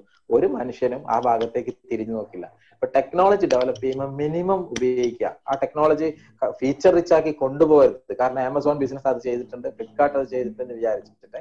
ഫീച്ചർ റിച്ച് ആയിട്ട് നമ്മൾ അതിനെ കൊണ്ടുപോയാൽ അതിന് സർവീസ് അതിനെ മെയിന്റെയിൻ ചെയ്യാനും കസ്റ്റമർ സർവീസ് കൊടുക്കാനും നമുക്ക് ബുദ്ധിമുട്ടാവും. അവിടെ ഇത് പാളാൻ സാധ്യതയുണ്ട്. അടുത്ത പോയിന്റ് ചില വെബ്സൈറ്റുകൾ ഈ അടുത്ത കാലത്ത് ഞാൻ ശ്രദ്ധയിലുണ്ട് ഇതിൽ കോണ്ടാക്ട് കൊടുക്കില്ല. പകരം ഒരു ഇമെയിൽ ഐ ഡി കൊടുക്കും.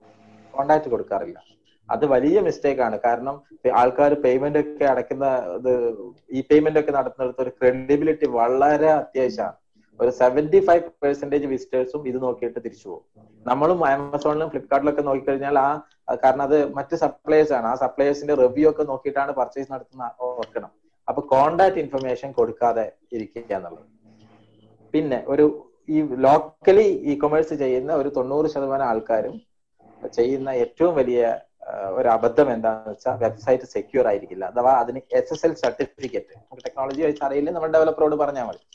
S S L certificate H T P എന്ന് പറയാം എച്ച് ടി പി എസ് ഉണ്ടാവും. അത് സെക്യൂർ ആണ്. ആ സൈറ്റ് മറ്റൊരാൾക്ക് അതിനകത്ത് അതിക്രമിച്ച് കടക്കാൻ കഴിയില്ല. അത്തരം ഫെസിലിറ്റി ഉണ്ട് അതിന്.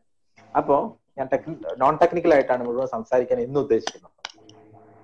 സെക്യൂർ ആക്കിയിട്ട് എടുത്തിട്ടില്ലെങ്കിൽ ആ സൈറ്റ് ക്ലിക്ക് ചെയ്യുമ്പോൾ തന്നെ അത് കാണിക്കും. മറ്റ് സെക്യൂർ എസ് എൽ സർട്ടിഫിക്കറ്റ് അല്ലാത്ത വെബ്സൈറ്റ് മേ ബി ഗൂഗിൾ ചെയ്യുമ്പോൾ തന്നെ അതിന്റെ അടിയിൽ എഴുതി കാണിക്കും. ദിസ് ഈസ് നോട്ട് സെക്യൂർ അപ്പൊ ആൾക്കാർക്ക് അതിനകത്തേക്ക് കയറാൻ പേടിയാവും. കാരണം അവരുടെ ക്രെഡിറ്റ് കാർഡ് ഇൻഫർമേഷൻ കൊണ്ട് അതിനകത്ത് കയറുന്നത്. മെജോറിറ്റി വെബ്സൈറ്റ് ചെയ്യുന്നതും ഈ സെക്യൂർ ആക്കാറില്ല. ലോക്കൽ ലെവൽ ചെയ്യുമ്പോൾ. കാരണം പിന്നെയും ടെക്നോളജി ഡെവലപ്പർ ആയിരിക്കില്ല അതിനൊരു അയ്യായിരം ആറായിരം രൂപ മേ ബി ഏഴായിരം രൂപയൊക്കെ എക്സ്ട്രാ കൊടുക്കേണ്ടി വരും. അപ്പൊ അത് നമ്മൾ തയ്യാറാവില്ല. അതിനെക്കുറിച്ച് അവർ പറയൂല കാരണം ഇപ്പൊ കോട്ട അധികമായി കഴിഞ്ഞാൽ നമ്മൾ കോട്ട് കുറഞ്ഞെടുത്ത് പോകും. അങ്ങനെ ഒരു സംവിധാനമുണ്ട്. പിന്നെ കസ്റ്റമർ സർവീസിലെ മോസ്റ്റ് ഇമ്പോർട്ടന്റ് തിങ് നമുക്കൊക്കെ അറിയാം. ആമസോണിനും ഫ്ലിപ്കാർട്ടിലൊക്കെ ഇത്രയും ഇത് ഫെമിലിയാരിറ്റി നമുക്ക് വരാനും അത്രയും കസ്റ്റമേഴ്സിന് അവർക്ക് കിട്ടാനും കാരണം അവരുടെ ഫ്ലെക്സിബിൾ ആയ റിട്ടേൺ പോളിസിയാണ് റിട്ടേൺ അയക്കാൻ പൈസ വേണ്ട എന്നൊക്കെയുള്ളത് ആൾ നമ്മുടെ അടുത്ത് വന്നിട്ട് കളക്ട് ചെയ്തു പോകും. അപ്പൊ റിട്ടേൺ പോളിസി നമ്മൾ കാണാതെയും തൊടാതെയും വെക്കുകയാണ്.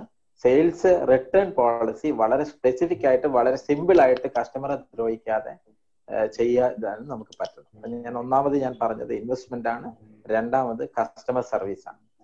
മൂന്നാമത് നമുക്ക് തരുന്നത് വെബ്സൈറ്റ് ലേഔട്ട് ആണ്. വെബ്സൈറ്റ് ലേഔട്ട് അത് അടുത്ത മൂന്നാമത്തെ ഒരു ഇമ്പോർട്ടന്റ് ആണെന്ന് പറയാം. കാരണം നമ്മുടെ പ്രൊഡക്റ്റ് നല്ലതാണ് യുണീക് പ്രൊഡക്റ്റ് ആണെങ്കിൽ മേ ബി ഒരു സാധാരണ വെബ്സൈറ്റിലും നല്ല കസ്റ്റമർ സർവീസിലും നല്ല ഇൻവെസ്റ്റ്മെന്റും ഇതൊക്കെ ഉണ്ട് ചെയ്യാൻ പറ്റിയേക്കും. വെബ്സൈറ്റ് ലേഔട്ട് നമുക്ക് ജനറിക് ജനറൽ ആയിട്ട് നേരെ നേരത്തെ പറഞ്ഞ പോലെ മൾട്ടിപ്പിൾ കാറ്റഗറി പ്രൊഡക്റ്റ് ഒക്കെ ചെയ്യുമ്പോൾ നല്ല ലേഔട്ട് ഇല്ലെങ്കിൽ നടക്കില്ല. അത് സ്റ്റാർട്ടിങ് ഫ്രം നല്ല ഡൊമൈൻ ആണ്. ഉദാഹരണത്തിന് world new market dot com എന്ന് പറഞ്ഞിട്ട് ഡൊമൈൻ നമ്മൾ എടുക്കുകയാണ് എന്നിട്ട് ഇവിടെയുള്ള ചെറിയ സാധനങ്ങൾ വയ്ക്കുക. അത് ഇതുവരെ നമ്മളെ അറിയാത്ത ഒരാൾ വേൾഡ് ന്യൂ മാർക്കറ്റിലേക്ക് വരുമ്പോൾ അയാൾക്ക് എന്തൊക്കെയോ പ്രതീക്ഷ കാണും തിരിച്ചിവിടെ വരുമ്പോൾ എന്താ പറയാ ടൊമാറ്റോയും പൊട്ടാറ്റൊക്കെ ആയിരിക്കും അതിനകത്ത് ഉണ്ടാവുക അപ്പൊ തന്നെ ഫുള്ളി ഇൻട്രസ്റ്റ് പോകും domain is important neighbourhood shop dot com എന്നൊക്കെ വെച്ചിട്ട് ഡൊമൈൻ ഇട്ട് കഴിഞ്ഞാൽ അത് ടൈപ്പ് ചെയ്യാൻ തന്നെ വലിയ വിഷമമാണ്. അത് ഫുള്ളി ടൈപ്പ് ചെയ്യാൻ കഴിയില്ല. സോ ചെറിയ പെട്ടെന്ന് ഓർക്കാൻ കഴിയുന്ന സ്പെസിഫിക് ആയിട്ടുള്ള ഡൊമൈനുകൾ സെലക്ട് ചെയ്യുക എന്നുള്ളതാണ് നമ്മൾ ആദ്യം ചെയ്യേണ്ടത് പിന്നെ സൈഡ് ഡിസൈൻ സൈഡ് ഡിസൈൻ വളരെ ഇമ്പോർട്ടന്റ് ആണ്. നമ്മൾ ആമസോണിന്റെ ഒരു പ്രൊഡക്റ്റ് മേ ബി ഒരു ക്യാമറ എടുക്കുമ്പോൾ അത് ക്ലിക്ക് ചെയ്ത് കഴിഞ്ഞാൽ അത് വലിയൊരു പേജിലേക്ക് പോകും. ആ പേജിൽ അതിന്റെ ഒരു മൂന്ന് ഇമേജ് ഉണ്ടാവും. വലിയ നീളത്തിലുള്ള ഡിസ്ക്രിപ്ഷൻ ഡിസ്ക്രിപ്ഷൻ സൈസ് മെഷർമെന്റ് കാര്യങ്ങളൊക്കെ സൈഡിൽ കാണാം. അതിന്റെ ടെക്നിക്കൽ കാര്യങ്ങൾ കുറെ ആൾക്കാർ അതിനെ കുറിച്ച് റിവ്യൂ ഇതൊക്കെ കാണാം. നമ്മൾ ഉണ്ടാക്കിയിരിക്കുന്നത് തക്കാളി വിൽക്കുന്ന വെബ്സൈറ്റ് ആയിരിക്കാം. ഇതിനാണ് ഇതിലേക്ക് പോയിട്ടുണ്ടെങ്കിൽ പ്രോബ്ലം ഞാനിപ്പോ നിങ്ങൾക്ക് ഇപ്പൊ കാണിക്കുന്നത് നമ്മുടെ മൈസോണിലുള്ള കാരണം ഞാൻ ആരുടെയൊക്കെയോ സ്ക്രീൻഷോട്ട് ചോദിച്ചിരുന്നു. മൈസോണിലുള്ള keyboard learning solution private limited Javad എന്ന് പറയുന്ന അദ്ദേഹത്തിന്റെ ഒരു ആപ്പാണ് ഇപ്പൊ കാണുന്നത്. ക്വിക്ക് ക്വിക്ക് ബൈ എന്ന് പറഞ്ഞിട്ട്. അതിന്റെ സ്ക്രീൻഷോട്ടാണ് അവിടെ കാണാം നമുക്ക് ആ പ്രൊഡക്റ്റ് പച്ചക്കറിയാണ് ആ കാണുന്നത്. അത് സെലക്ട് ചെയ്യാൻ വളരെ ഈസിയാണ് അപ്പൊ ഇതിനെ വളരെ വലിയ കോംപ്ലിക്കേറ്റഡ് ആയിട്ട് ഈ വെജിറ്റബിൾ വിൽക്കാനാക്കി മാറ്റേണ്ട കാര്യമില്ല. അത് സെലക്ട് ചെയ്താൽ അതിന്റെ സപ്ലയർ പേര് അതിന്റെ മൂന്ന് സ്റ്റൈലിലുള്ള ഫോട്ടോ ഇങ്ങനെയുള്ള ഇ കൊമേഴ്സ് സിസ്റ്റങ്ങളൊന്നും അതിന് വേണ്ട. നമ്മുടെ പ്രൊഡക്റ്റ് അതാണ് വളരെ ഭംഗിയായിട്ട് അത് അദ്ദേഹം ചെയ്തിട്ടുണ്ട്. അതിന്റെ ഇടയിൽ ഒരു കാര്യം ഈ ബൈ ജവാദ് ഇത് അത്യ ഇതിന്റെ ബേസിക് സർവീസ് ഇപ്പോ ഉള്ള സ്മോൾ സ്കെയിൽ ഓണ്ടർപ്രണറെ സപ്പോർട്ട് ചെയ്യാൻ വേണ്ടിട്ട് അദ്ദേഹം ഫ്രീ ആയിട്ട് പ്രൊവൈഡ് ചെയ്യുന്നുണ്ട്. ബാക്കി എന്തൊക്കെയോ സ്റ്റേ സ്കീം ഉണ്ട്. അദ്ദേഹത്തിന് എന്റെ പിന്നീട് ഇത് കഴിഞ്ഞ് കോൺടാക്ട് ചെയ്ത് ഞാൻ അദ്ദേഹത്തിനെ കണക്ട് ചെയ്ത് തരാം. എനിവേ ഇങ്ങനെയുള്ള ലേഔട്ടുകൾ നന്നായിരിക്കണം. മറ്റൊരു ലേഔട്ട് ഞാൻ കാണിക്കാം. This is another layout simple അത് മൾട്ടിപ്പിൾ കാറ്റഗറിയാണ് അതുകൊണ്ട് നമുക്ക് ഒരേ ലെഫ്റ്റ് സൈഡിൽ നമുക്ക് കാണാം നമ്മുടെ കാറ്റഗറി സെലക്ട് ചെയ്യാനുള്ള ഒരു ലേ ഔട്ട് ഉണ്ട്. വളരെ പിന്നെയും അത് സിമ്പിൾ ആണ്. അങ്ങനെ സൈറ്റ് നമ്മൾ ലേ ഔട്ട് തിരഞ്ഞെടുക്കുന്ന കാര്യത്തിലും മേ ബി ഡെവലപ്പറുടെ അല്ലെങ്കിൽ സോഫ്റ്റ്വെയർ കമ്പനി നമ്മൾ നമുക്ക് ഈ ടെക്നോളജി വശങ്ങളും പേജ് റാങ്കിങ് അതുപോലുള്ള ടെക്നിക്കൽ കാര്യങ്ങൾ അറിയില്ലെങ്കിൽ കൂടുതൽ നമ്മൾ നമ്മുടെ ഡെവലപ്പറെ ആശ്രയിക്കുന്നതായിരിക്കും അത് നല്ലത്. കാരണം വലിയൊരു ഇമേജ് ഒക്കെ കൊണ്ടുവന്ന് അതൊക്കെ ഇടണം എന്നൊക്കെ പറഞ്ഞാൽ ഇത് ലോഡ് ചെയ്യാൻ സമയമെടുക്കും. അപ്പൊ ഓപ്പോസിറ്റ് നമ്മുടെ വെബ്സൈറ്റ് എടുത്ത് വെച്ച് കഴിഞ്ഞിട്ട് ഇതിന് നമുക്ക് ഈസി ആയിട്ട് പരിശോധിക്കാൻ നമ്മൾ ഒരു കസ്റ്റമറായിട്ട് ചിന്തിച്ചാൽ മതി. ഒരു അഞ്ച് സെക്കൻഡ് ഒരു പ്രൊഡക്റ്റ് ലോഡിംഗ് പേജ് എടുക്കുന്ന ഒരു പർട്ടിക്കുലർ ആപ്ലിക്കേഷൻ ഒരു വെബ്സൈറ്റ് നമ്മൾ നമ്മുടെ മൊബൈലിൽ രണ്ട് തവണയിൽ കൂടുതൽ എടുക്കും. ഒരു തവണ അതിങ്ങനെ കറങ്ങിക്കൊണ്ടിരുന്നാൽ പിന്നെ നമ്മൾ ആ ഭാഗത്ത് പോവില്ല. ഇത് തന്നെയാണ് കസ്റ്റമർ കാരണം കസ്റ്റമർക്ക് ഇതിനോട് സ്പെസിഫിക് ഇൻട്രസ്റ്റ് ഒന്നും ഇല്ല. അപ്പൊ വളരെ സ്പീഡായിട്ട് ലോഡ് ചെയ്യണം. അതാ ഡെവലപ്പ് ചെയ്യുന്നത് ആരാണോ അവർക്കോട് പറഞ്ഞു കഴിഞ്ഞാൽ നമുക്കത് ചെയ്യാൻ പറ്റും. പകരം നമ്മൾ കുറേ ഫീച്ചർ റിച്ച് ആക്കിയിട്ടും വലിയ ഇമേജ് ഒക്കെ കൊടുത്തിട്ട് രണ്ട് വീഡിയോ ഒക്കെ കൊണ്ടിടുമ്പോഴാണ് പ്രോബ്ലംസ് ഉണ്ടാവുന്നത്. നമുക്ക് ടെക്നിക്കൽ നോളജ് ഇല്ലെങ്കിലാണ് ഞാൻ പറഞ്ഞത് അല്ലാത്തവർക്ക് ചെയ്യാം. ദെൻ പേയ്മെന്റ് ഇഷ്യൂസ് വരാം. റിലയബിൾ ആയിട്ടുള്ള ഗേറ്റ് വേ ഉപയോഗിക്കണം. റിലയബിൾ ആയിട്ടുള്ള ഗേറ്റ് വേ ഉപയോഗിക്കുമ്പോൾ ചിലപ്പോൾ ചാർജ് ഇത്തിരി കൂടുതലായിരിക്കാം. കാരണം ഒരു തവണ ഒരു പേയ്മെന്റ് ഇഷ്യൂ വന്ന ഒരു കസ്റ്റമർ തിരിച്ച് ഈ വെബ്സൈറ്റ് ഇതിലേക്ക് ഒരിക്കലും വരാനുള്ള സാധ്യതയില്ല. പിന്നെ ഒഴിവാക്കേണ്ട ഒരു കാര്യമാണ് ഫോഴ്സ് രജിസ്ട്രേഷൻ ഫോഴ്സ് രജിസ്ട്രേഷൻ പറയുന്നതിന് മുന്നേ ഇപ്പോഴത്തെ ഇ കൊമേഴ്സിൽ ഞാൻ കാണുന്ന ഒരു ട്രെൻഡ് എല്ലാവരും മൊബൈൽ ആപ്പ് ഡെവലപ്പ് ചെയ്യാം.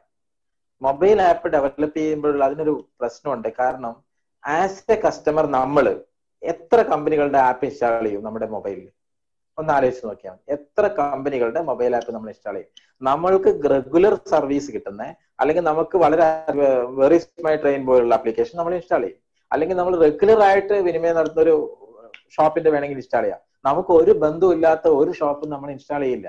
അപ്പൊ ആ ഘട്ടങ്ങളിൽ നമ്മൾ മൊബൈൽ പോയിട്ട് കടന്ന് ചെല്ലാതിരിക്കണം. നമ്മൾ അവിടെ ചെയ്യേണ്ട കാര്യം ആദ്യം വേണ്ടത് രണ്ടാം ഘട്ടത്തിലേക്ക് കൊണ്ടുപോവാം.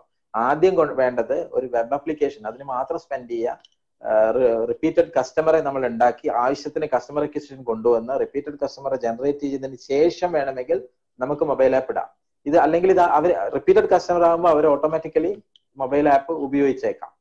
Then force registration force registration എന്ന് പറഞ്ഞു കഴിഞ്ഞാൽ ഈ സൈറ്റിൽ കയറാൻ തന്നെ അത് ഞാൻ കണ്ടിട്ടുണ്ട്. ചില വെബ്സൈറ്റ് കണ്ട എക്സ്പീരിയൻസിൽ ഇത് പറയുന്നത്. സൈറ്റിൽ കയറും കയറുമ്പോൾ തന്നെ ഉണ്ടാവും നമ്മുടെ പേരും ഇമെയിൽ ഐ ഡി ഫോൺ നമ്പറും കൊടുത്തിട്ട് രജിസ്റ്റർ ചെയ്യണം. ഒരാളും ആ സൈറ്റിലേക്ക് പോയില്ല ഒരു പ്രൊഡക്റ്റ് സെർച്ച് ചെയ്യണമെങ്കിൽ ഇത് ചെയ്യണം. രജിസ്ട്രേഷൻ ഒക്കെ ചെയ്യിക്കേണ്ടത് വളരെ സിമ്പിൾ ആയ മെത്തേഡിൽ ലാസ്റ്റ് ചെക്കൗട്ട് ഒരു പ്രൊഡക്റ്റുമായിട്ട് ഒരു യൂസർ വന്ന് ചെക്കൗട്ട് ചെയ്യുന്ന സമയത്ത് മാത്രം ചെയ്യിക്കാൻ വേണ്ടിയിട്ടാണ് രജിസ്ട്രേഷൻ ഒക്കെ ഉപയോഗിക്കേണ്ടത്. ഓഫ് കോഴ്സ് പ്രൊഡക്റ്റ് സെർച്ച് ഞാൻ നേരത്തെ പറഞ്ഞ പോലെ ഇപ്പൊ നമ്മുടെ സ്ക്രീനിലൊക്കെ കാണുന്ന പോലെ വളരെ സിമ്പിൾ ആയ ഒരു പ്രൊഡക്റ്റ് ഷോക്കേസിങ് നമുക്ക് ചെയ്യാൻ പറ്റണം. ഓട്ടോ സജഷൻ ഒക്കെ കൊടുക്കാൻ പറ്റും. പ്രോഡക്റ്റ് സെർച്ച് ചെയ്യുന്ന സമയത്ത് നമ്മൾ ഫ്രീക്വന്റ് ആയിട്ട് വാങ്ങിക്കുന്ന പ്രൊഡക്റ്റുകൾ ഓട്ടോ സജഷൻ ആയിട്ടൊക്കെ കൊടുക്കാനുള്ള എൻജിൻസ് ഒക്കെ അവൈലബിൾ ആണ്. അങ്ങനെ വളരെ ഈസി ആയിട്ട് ഒരു വെജിറ്റബിൾ ഐറ്റം ആണ് എടുക്കുന്നതെങ്കിൽ കോമൺ ആയിട്ട് പോകുന്ന മറ്റ് വെജിറ്റബിൾ ഐറ്റം വരുന്ന രീതിയിലോ അല്ലെങ്കിൽ നേരത്തെ കണ്ട ഇപ്പൊ ഈ ഒരു പേജിൽ കാണുന്നത് പോലെ ഇത്തരം രീതികളിലോ നമുക്ക് പ്രൊഡക്റ്റ് ഡിസ്പ്ലേ ചെയ്യാനും നമുക്ക് പറ്റണം.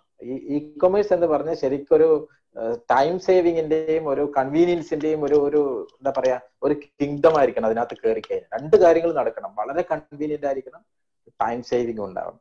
So this is the second important point website നമ്മുടെ platform layout the third thing is poor marketing ഇവിടെ അത്യാവശ്യം ഞാൻ നേരത്തെ പറഞ്ഞ ഫണ്ട് അത്യാവശ്യം ആവശ്യമുള്ള ഏരിയ ആണ് ഇത് ഡിപ്പെൻഡ്സ് ഓൺ നമ്മളൊരു ചെറിയ ഏരിയയിൽ കണ്ണൂർ ടൗണിലേക്ക് അല്ലെങ്കിൽ കണ്ണൂർ ജില്ലയിൽ ഒരു പത്ത് കിലോമീറ്റർ റേഡിയസിലുള്ള ഒരു ഗ്രോസറി ഷോപ്പ് ആണെങ്കിൽ നമുക്ക് അത്ര വേണ്ടി വരില്ല ഇൻവെസ്റ്റ്മെന്റ് അതല്ല നമ്മളുടെ പ്ലാറ്റ്ഫോം ഒരു മൂന്ന് ജില്ലയിലേക്കുള്ള ഒരു ടെക്സ്റ്റൈൽ പ്ലാറ്റ്ഫോം ആണ് എങ്കിൽ അല്ലെങ്കിൽ ഒരു ഫാൻസി ഉള്ള അല്ലെങ്കിൽ ഒരു ഹാൻഡിക്രാഫ്റ്റ് ഉള്ള പ്ലാറ്റ്ഫോം ആണ് നമ്മൾ ചെയ്യാൻ ഉദ്ദേശിക്കുന്നതെങ്കിൽ definitely marketing we need some investment ഉറപ്പായിട്ടും കാണണം. അത് നേരത്തെ കാണണം.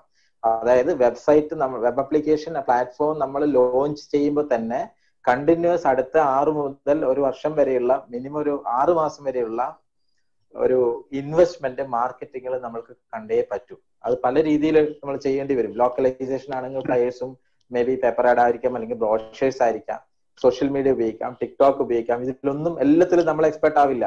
ഇനി എക്സ്പെർട്ട് ആണെങ്കിൽ തന്നെ നമ്മൾ അങ്ങനെയാണെങ്കിൽ നമ്മൾ മാർക്കറ്റിംഗ് മാത്രം നോക്കണം. പ്രൊഡക്റ്റ് സോഴ്സിങ് നമുക്ക് നോക്കാൻ പറ്റില്ല. ഒന്നുകിൽ അങ്ങനത്തെ ടീം നമ്മളിൽ ഉള്ളിൽ വേണം. അപ്പോഴും നമുക്കൊരു കോസ്റ്റ് ഉണ്ട്. അല്ലെങ്കിൽ പാർട്ട്ണർ ആയാൽ പോലും നമുക്കൊരു കോസ്റ്റ് ഉണ്ട്. അല്ലെങ്കിൽ നമ്മൾ അതൊരു ഔട്ട്സോഴ്സ് ചെയ്യേണ്ടി വരും ഈ കാര്യങ്ങൾ. അതുകൊണ്ടാണ് ഞാൻ അവിടെ ഒരു ഇൻവെസ്റ്റ്മെന്റ് ഉണ്ടെന്ന് പറഞ്ഞ് നമ്മൾ തന്നെ ടീമാണെങ്കിലും ടൈം അവിടെ ഒരു ഇൻവെസ്റ്റ്മെന്റ് ആണ്. പിന്നെ ചില റീസെന്റ് ആയിട്ട് ഇപ്പൊ അടുത്ത കാലത്ത് കാണുന്ന ചില പരസ്യങ്ങൾ മാർക്കറ്റിങ്ങിനകത്ത് ഞാൻ കണ്ടിട്ടുണ്ട്. കൊറോണയൊക്കെ ഉച്ചകൊക്കെ പരസ്യങ്ങൾ വരും. Stay safe stay at home അതിന്റെ താഴെ ഉണ്ടാവും പ്രൊഡക്റ്റിന്റെ പേര് കൊടുത്തിട്ട് നമ്മളെ പ്രൊഡക്റ്റ് വാങ്ങിക്കുന്നത് നെഗറ്റീവ് ഇമേജ് ആയിരിക്കും ചിലപ്പോൾ വരിക. ഒരു ഡിസാസ്റ്ററിന് നമ്മൾ നെഗറ്റീവ് മാർക്കറ്റിംഗ് ചെയ്യുന്ന ഒരു അവസ്ഥയിലേക്ക് വരും. അപ്പൊ അത്തരം മാർക്കറ്റിംഗിലേക്ക് പോകാതിരിക്കുക. നേരത്തെ പറഞ്ഞ ഈ മാർക്കറ്റിംഗ് പോസിബിലിറ്റീസ് നമ്മുടെ വെബ്സൈറ്റ് ലേ ഔട്ടിൽ ഉണ്ടെന്ന് ഉറപ്പുവരുത്താൻ നമുക്ക് ഫ്രണ്ട്സിന്റെ നമ്മുടെ വളരെ അടുത്തറിയുന്ന കസ്റ്റമറുടെയൊക്കെ സഹായം തേടാം.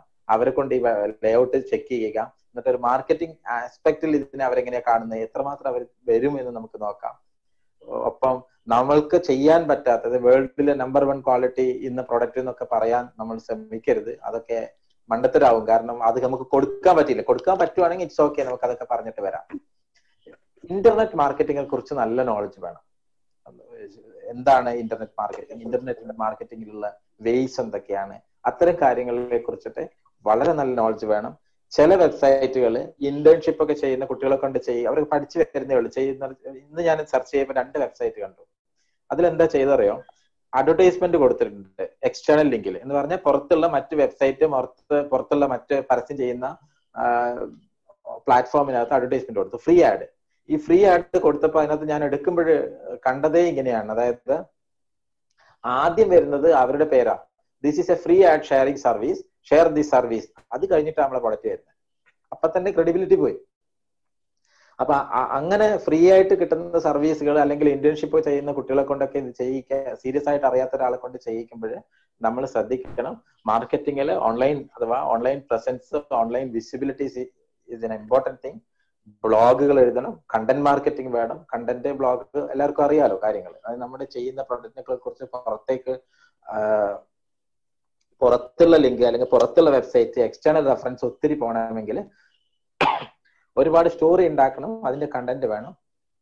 സോഷ്യൽ മീഡിയയിൽ ബ്ലോഗ് പോസ്റ്റ് ചെയ്യാം. പുതിയ ഐറ്റങ്ങളൊക്കെ ആണെങ്കിൽ അത് ബൈ ചെയ്യുമ്പോൾ അതിന്റെ ഗൈഡ് അല്ലെ ആ പ്രോഡക്റ്റിനെ കുറിച്ചുള്ള നോളജ് ആർട്ടിക്കിൾ എഴുതാം. വീക്ക്ലി വീഡിയോസ് അയക്കാം. സോറി മന്ത്ലി പോഡ്കാസ്റ്റ് ചെയ്യാം. എന്ന് പറഞ്ഞാൽ ചുരുക്കം പറഞ്ഞാൽ be active in social media and internet ഇതാണ് തേർഡ് തിങ്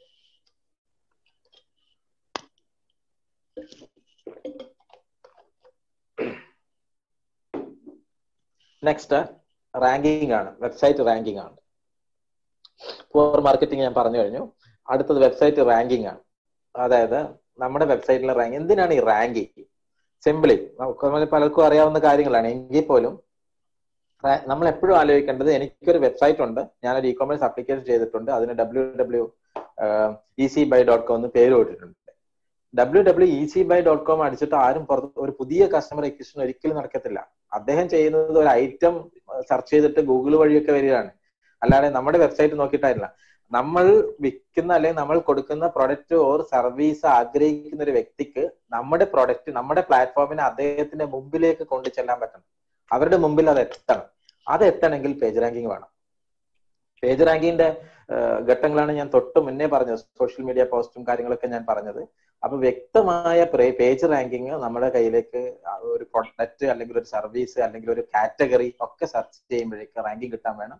ഇപ്പോഴത്തെ ഗൂഗിൾ റാങ്കിങ്ങിൽ ഈ മൊബൈൽ യൂസബിലിറ്റി മൊബൈൽ ഫണ്ട് അതായത് റെസ്പോൺസീവ് എന്ന് പറയും. മൊബൈലിൽ എടുത്താലും അത് റെസ്പോൺസീവ് ലേഔട്ടിൽ കാണാൻ പറ്റുന്ന സംവിധാനങ്ങളൊക്കെ ഇപ്പോഴത്തെ ഗൂഗിൾ റാങ്കിങ് പക്ഷെ ഇപ്പോഴത്തെ സൈറ്റുകളൊക്കെ ചെയ്യുമ്പോൾ അതൊക്കെ ഉണ്ടാവും. പക്ഷെ അതിന്റെ എഫക്റ്റീവ്നെസ് ഗൂഗിൾ റാങ്കിങ്ങിൽ ഒരു ഫാക്ടറാണ് ഇതിന് ഈ റാങ്കിങ് ഒക്കെ കിട്ടാൻ വേണ്ടിയിട്ട് ഒരുപാട് ടൂളുകൾ ഉണ്ട് ഗൂഗിൾ അനാലിറ്റിക്സ് എന്നൊക്കെ പറഞ്ഞ ഒരുപാട് ടൂളുകൾ ഉണ്ട് എനിക്കറിയാം നമുക്ക് ക്ലയൻസ് നമ്മുടെ പാർട്ടിസിപ്പൻസ് ഇപ്പോഴുള്ള ഒരു മിക്സഡ് ആണ്. പക്ഷെ മെജോറിറ്റി ആൾക്കാരെ ബേസിക് ആണ്. ഒരു ടെക്നോളജി ഇല്ലാതെ അല്ലെങ്കിൽ ഒരു ട്രഡീഷണൽ സ്ഥാപനം നടത്തുന്ന ഒരാൾ ഇത് മാറ്റാൻ വരുന്ന ഒരു ബേസിക് ആയതുകൊണ്ടാണ് ഞാൻ വളരെ ബേസിക് ആയിട്ട് പറയുന്നത്. ഇതിന്റെ സീരീസിന്റെ നെക്സ്റ്റ് തേർഡ് സെഷൻ ആയിട്ട് നിങ്ങൾക്ക് കുറച്ചുകൂടെ ടെക്നോളജി കാര്യങ്ങൾ കിട്ടും. ഇപ്പൊ ഞാൻ ബേസിക് ആയിട്ടാണ് പോണേ.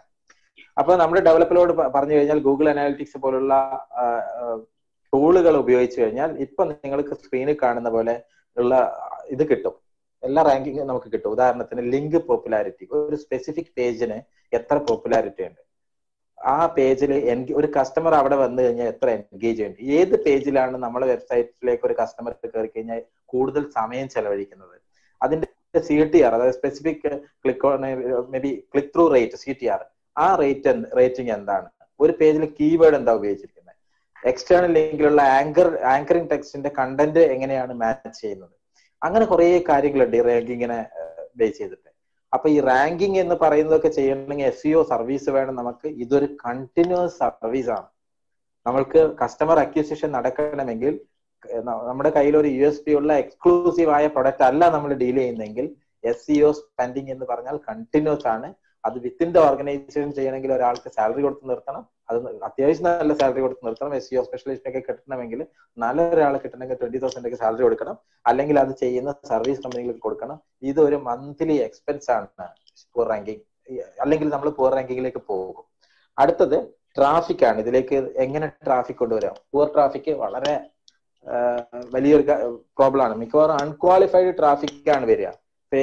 ഫേസ്ബുക്കിൽ നമ്മുടെ ഇ കൊമേഴ്സ് ആപ്ലിക്കേഷനെ കുറിച്ചിട്ട് ഒരു പരസ്യം നമ്മൾ അല്ലെങ്കിൽ ഒരു പോസ്റ്റ് ഉണ്ടാക്കിയിട്ട് ഇട്ട് കഴിഞ്ഞാൽ അത് കാണുന്ന ആൾക്കാർ മേ ബി നമ്മൾ വിൽക്കുന്ന പ്രൊഡക്റ്റിന്റെ കസ്റ്റമേഴ്സ് ആയിരിക്കില്ല. നമുക്ക് ഫോക്കസ്ഡ് ആയ ഒരു നാരോ ഫോക്കസ്ഡ് ആയ കസ്റ്റമർ സിസ്റ്റത്തിലേക്കാണ് നമ്മുടെ അഡ്വർടൈസ്മെന്റ് ബ്രോഡ്കാസ്റ്റിംഗ് കടന്നു ചെല്ലേണ്ടത്.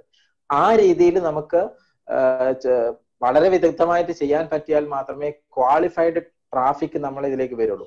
ഈ ട്രാഫിക് ആണ് ഞാൻ നേരത്തെ പറഞ്ഞ റാങ്കിങ്ങിന് സഹായിക്കുന്നത്. എന്ന് പറഞ്ഞാൽ ഒരു സെർച്ച് എഞ്ചിനിലേക്ക് വരുന്ന ഒരു വേർഡ് ഇന്ന പ്രൊഡക്റ്റിന് വേണ്ടി അല്ലെങ്കിൽ ഇന്ന കാറ്റഗറിക്ക് വേണ്ടി ഒരാൾ സെർച്ച് ചെയ്യുമ്പോൾ നമ്മൾക്ക് അതിലേക്ക് എത്തിച്ചേരണമെങ്കിൽ നമ്മൾക്ക് ക്വാളിഫൈഡ് ട്രാഫിക് മസ്റ്റ് ആണ്. ആരും പാഷൻ ഫ്രൂട്ട് വിൽക്കുന്ന ഒരു കടയുടെ പേരടിച്ച് വരില്ല. Where to buy a passion fruit എന്ന് എഴുതാം. അല്ലെങ്കിൽ വെറുതെ പാഷൻ ഫ്രൂട്ട് അടിക്കാം. ആ സമയത്ത് നമ്മുടെ സൈറ്റ് അവിടെ മുമ്പിൽ വന്ന് നിൽക്കണം. ഇത് അടുത്ത ഇമ്പോർട്ടന്റ് തിങ് ആണ്.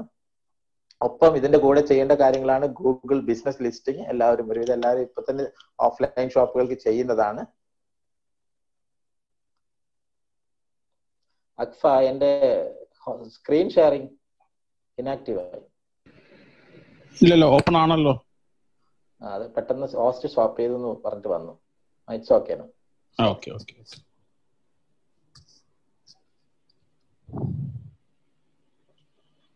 Okay, is it okay now?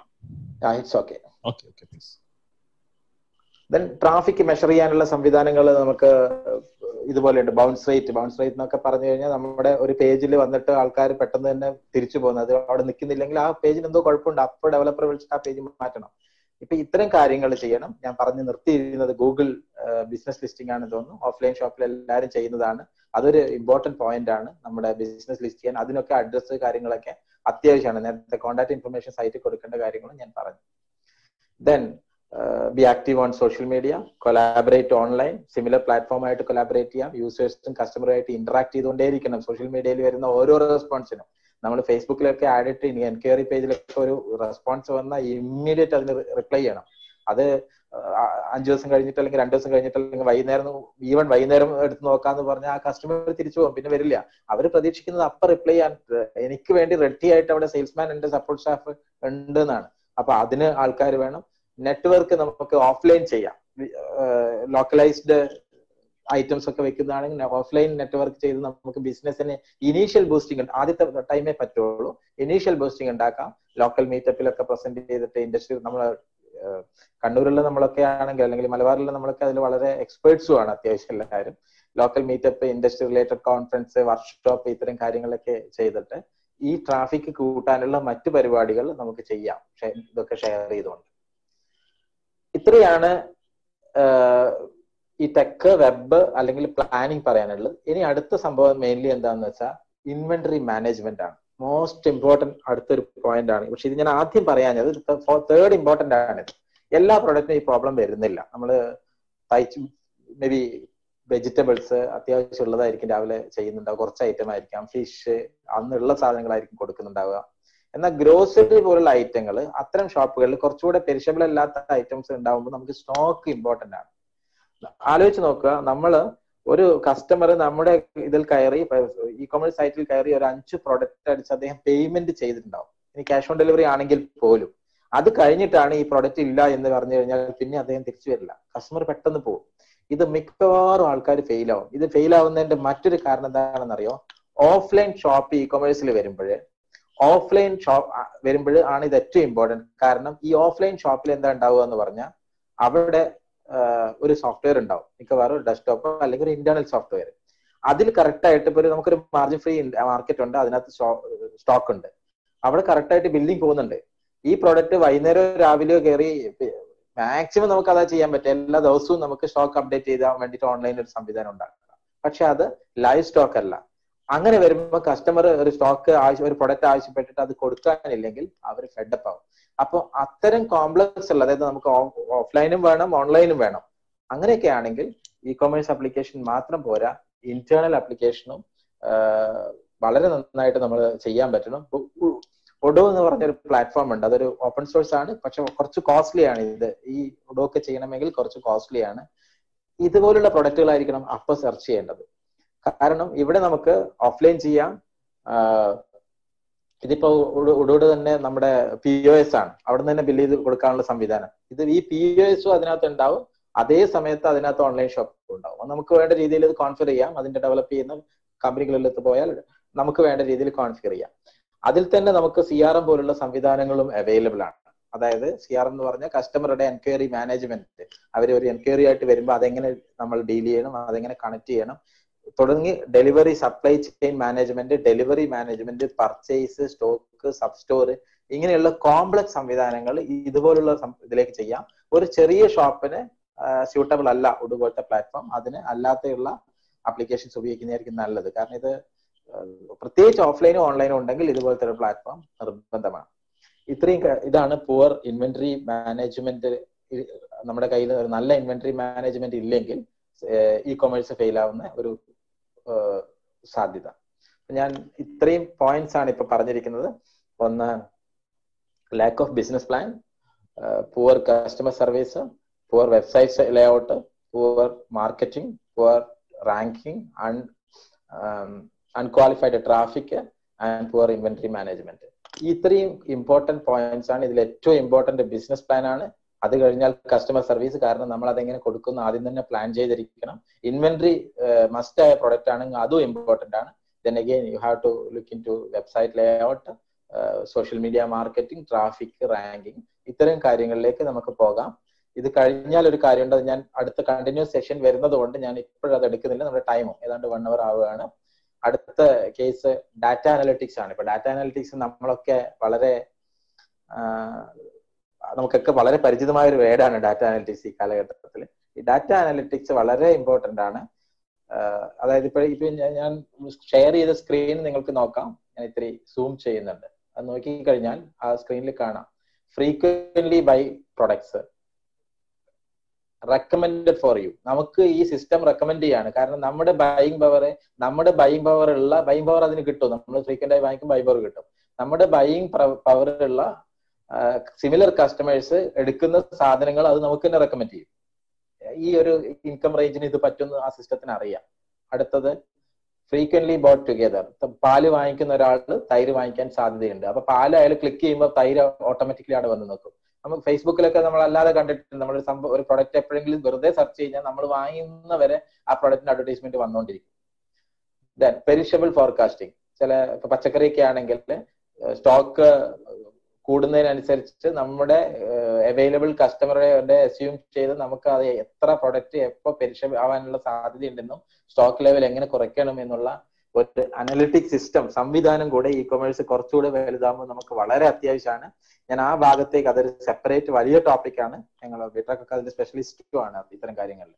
അപ്പോ ആ ഇതിലേക്ക് കടക്കുന്നില്ല. കാരണം ടെക്നിക്കൽ സെഷൻ ഇതിൽ ടെക്നിക്കലി വേണ്ട ആൾക്കാർക്ക് ഈ കോവിഡ് നയന്റീൻ സീരീസിനോട് ബന്ധപ്പെട്ട് വളരെ ഫ്രീ ഫ്രീ ആയിട്ട് തന്നെ കൊടുക്കാനാണ് നമ്മൾ കുറെ കാര്യങ്ങൾ വെദർ ഓൺലൈൻ ഓർ ടെലിഫോൺ ആണെങ്കിൽ അത് നമ്മൾ ഫ്രീ ആയിട്ട് ചെയ്യാനും അതല്ല കുറച്ച് ഡീറ്റെയിൽഡ് ആയിട്ട് നിങ്ങൾക്ക് പഠിക്കാൻ താല്പര്യമുണ്ടെങ്കിൽ ബിട്രാക്കിൽ അതിനുള്ള ഷോർട്ട് ടേം ആയാലും ഈവനിങ് ആയിട്ടുള്ള സൗകര്യങ്ങളും സെപ്പറേറ്റ്ലി ഇതിനകത്തുണ്ട്.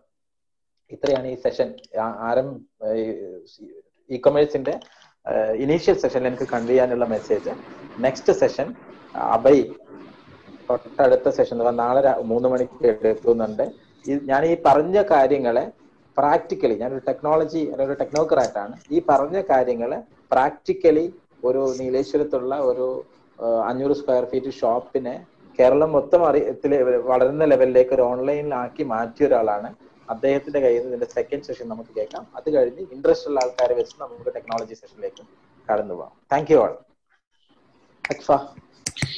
Subhash it's excellent session കാരണം വെച്ചാൽ നമുക്ക് പലപ്പോഴും നമ്മൾ വളരെ സില്ലായിട്ട് എടുക്കുന്ന കുറെ കാര്യങ്ങളാണ് സുഭാഷ് പറഞ്ഞു തന്നിരിക്കുന്നത് തീർച്ചയായിട്ടും നമ്മൾ പാർട്ടിസിപ്പൻസിന് കുറച്ച് ക്വയറീസ് ഉണ്ടാവും ക്വസ്റ്റ്യൻസ് ഉണ്ടാവും എന്നാണ് എനിക്ക് തോന്നുന്നുള്ളത് if anybody has a question please raise you hand അല്ലെങ്കിൽ ഇവിടെ ഒന്ന് ചാറ്റ് ബോക്സിലേക്ക് ഒന്ന് ഇടാം.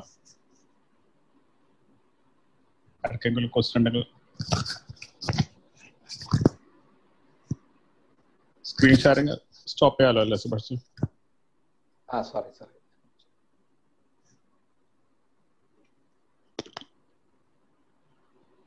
ക്വസ്റ്റ്യൻസ് ആർക്കെങ്കിലും? സുഭാഷ് ഞാൻ ഞാൻ- ഒരു സംശയം ചോദിച്ചോട്ടെ ഒരു ക്വസ്റ്റ്യൻ ചോദിച്ചോട്ടെ എന്റെ സൈഡിൽ നിന്ന്.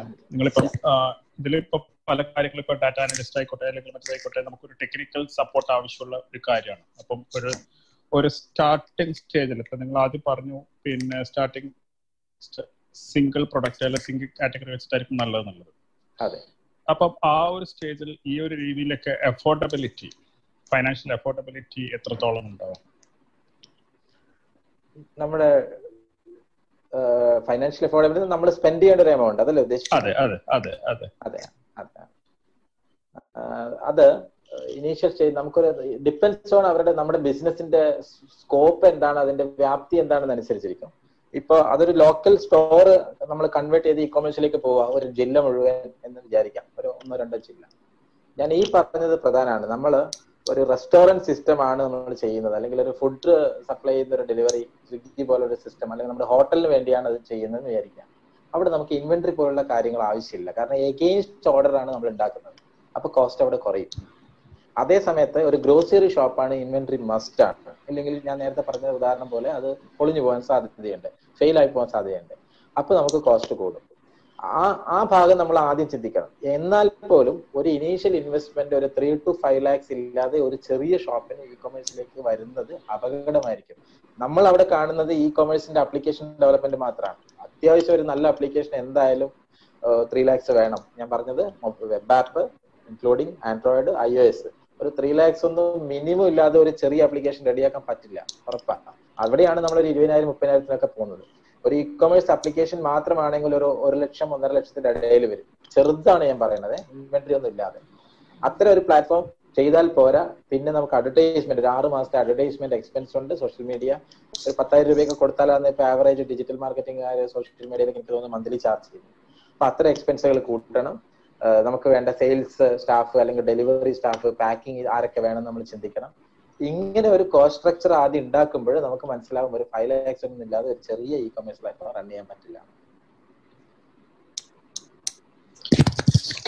ഇവിടെ ഓക്കെ നമ്മുടെ ഒരു member mister Shaheer P K ഒരു ക്വസ്റ്റ്യൻ ഉണ്ടെന്നുള്ള പറഞ്ഞിട്ടുണ്ട്. ഷഹീർ പ്ലീസ് അൺമ്യൂട്ട്